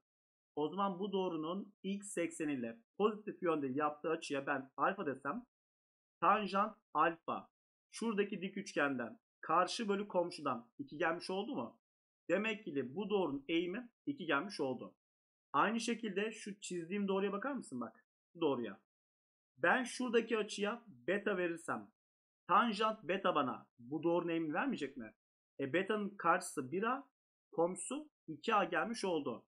Öyleyse tanjant beta eşittir. a bölü 2a'dan bu da 1 bölü 2 geldi. Yani bu doğrunun eğimi yani x'in katsayısı 1 bölü 2 gelmiş oldu. E 2 buradan 1 bölü 2 buradan toplarsam da 5 bölü 2 yaptı. Yani sorunun doğru cevabı. Geliyorum. Geliyorum 39. soruya. Yukarıdaki dik koordinat düzleminde verilen dikdörtgen biçimdeki çerçeve D ve C köşelerinden duvara asılmıştır. Bu durumda çerçevenin 3 köşesinin koordinatları bunlar olmaktadır. E buradan ben nasıl sonuç çıkartabilirim? Bak dikkat et. Burası 5 30, burası 25 30 sa burası şu anda y ekseni üzerinde aynı doğru. E demek ki burasının uzaklığı 25 eksi 5'ten 20 gelmesi gerekiyor. Aynı mantıkta bak. Buradaki doğru şu anda x ekseni üzerinde aynı doğru. O zaman 30 ile 15'i fark kaç? 15. Demek ki şu doğrunun uzunluğu da 15 gelmesi gerekiyor. E buradan eğer ki bir de ben köşegen çekersem. Şurasının sen dik üçgen olduğunu biliyorsun. 3'ün 5 katı, 4'ün 5 katı, 5'in 5 katından köşegende kaç çıktı? 25 çıkmış oldu. Devam edelim soruya. D köşesindeki bağlantının kopmasıyla çerçeve aşağıdaki gibi C köşesi etrafına dönerek A, B, D köşeleri A üssü, B üssü, D üssü noktalarına gelmiştir. A üssü noktasının apsisi 25. Tamam bu apsis 25. Buna göre B üssü noktasının koordinatları nedir diye soruyor bana. Şimdi öncelikle ne yapmamız gerekiyor? Arkadaşlar olayımız şu. Şimdi bakın bir kere şu noktayı hangi noktayı? C noktasını bir A üsse bir bağlayalım. Niye bağladığımı birazdan anlayacaksınız. Şimdi öncelikle dikkatli olun. Siz A üssünün apsisinin kaç olduğunu biliyorsunuz? 25. Bakın C'nin de apsisi 25. Ben buradan ne anlıyorum? Şu an C ve A üssü aynı doğru üzerinde olması gerekiyor. Bu cepte. Peki bu noktanın ordinatı şu an kime eşit? Dikkatli ol. Ordinat şu anda 30'a eşit. E demek ki bu uzaklığın tamamı 30 sa e ben zaten az önce köşegen uzunluğu kaç bulmuştum? 25 bulmuştum. E demek ki hala A üssü C köşegen değil mi? Köşegen. Burası 25 birimse demek ki şuraya bir kere 5 kaldı. Bu bir kere cepte. Doğru mu? Doğru. Şimdi benzerlik kurabilmek için şekli şöyle ne yapalım? Dikdörtgensel şekli bir tamamlayalım. Şöyle ne yapıyorum? Şekli dikdörtgeni biz bir tamamlayalım. Şöyle. 90 derece, 90 derece. Aynı mantıkta şöyle indirelim. Buralarda 90 ve 90 olsun. Sen dikkat et. Önceki şekilden kısa kenarın 15, uzun kenarın 20 birim olduğunu biliyorsun. Ve şuralarında önceki şekilden 90 derece olduğunu biliyorsun. E bir şekilde çok fazla 90 varsa ne yapacaktık? Açılara isim verecektik. Mesela şöyle yapalım. Şuradaki açıya alfa diyelim. Şuradaki açıya beta diyelim.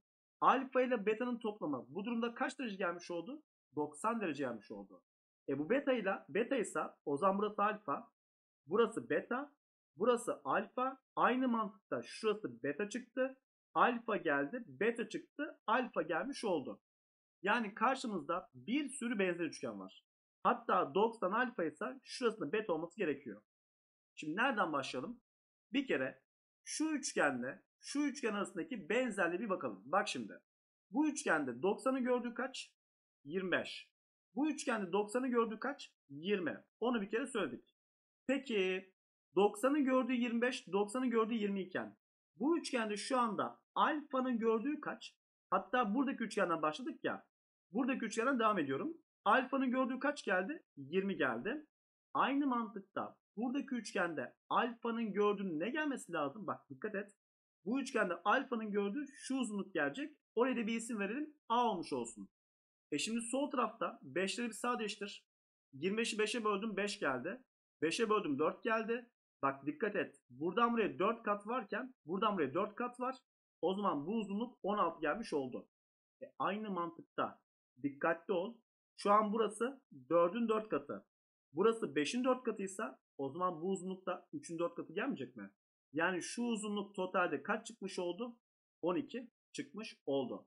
Şimdi şöyle bakalım olaya. Şöyle bakalım. Siz bir kere zaten bu noktanın 25 olduğunu biliyorsunuz. E bunun üzerine bir de ben bu uzaklığı eklesem bak. Şuradaki noktanın apsisi 37 çıkmış olmadı mı? Oldu. Şimdi bu cepte. Aynı zamanda dikkatli ol. Sen şu anda buradaki uzunluğun 5 olduğunu biliyorsun. E bir de ben bu 16'yı eklersem B üssünün ordinatı 21 gelmiş olmuyor mu? O zaman B üssünün apsisi 37 geldi. Ordinatı 21 geldi. Yani noktamız 37'ye 21 ile denizli çıkmış oldu. İki tane üçgende benzerlik yaptım. Başka bir şey yok soruda. Tamam Geldim 40. ve denemenin son sorusuna. Analitik düzlemin birinci bölgesinde verilen bir A noktasının dur. Hemen orasını bir çizelim. Hemen gidiyorum. Elime bir tane düzlem alıyorum. Aldım. Ne diyor bana? Birinci bölgeden bir tane A seç diyor. Ben de seçiyorum. Diyelim ki şu nokta A olmuş olsun. Apsisine bir isim verelim. Küçük A. Ordinat küçük b olsun. Bu nokta A'ya B gelmiş oldu. Devam et. Bu noktanın x eşittir eksi 8. Hemen onu da bir çizelim. Hatta şöyle yapalım. Farklı renkli gözüksün. x eşittir eksi 8. Başka? Y eşittir eksi 4. Bu doğrularına ve orijine olan uzaklıkları eşitmiş. E, o zaman şimdi bak. Bu doğru x eşittir eksi 8. Bu doğru y eşittir eksi 4 ise demek ki bu doğru y eksenini eksi 4'te kesti. Bu doğru da x eksenini eksi 8'de kesti. O zaman soru şu. Bu noktanın bu doğruya uzaklığı kaç birim olması gerekiyor? Burası 8 birim. Burası A birim. Demek ki bu noktanın bu doğruya uzaklığı toplamda A artı 8 gelmiş oldu. Bunu bir kere yazdım. Şimdi geldim bu noktanın şu doğruya olan uzaklığına. Onu bir yanlış çizdim arkadaşlar. Şöyle yapalım. Yamuk çizmeyelim.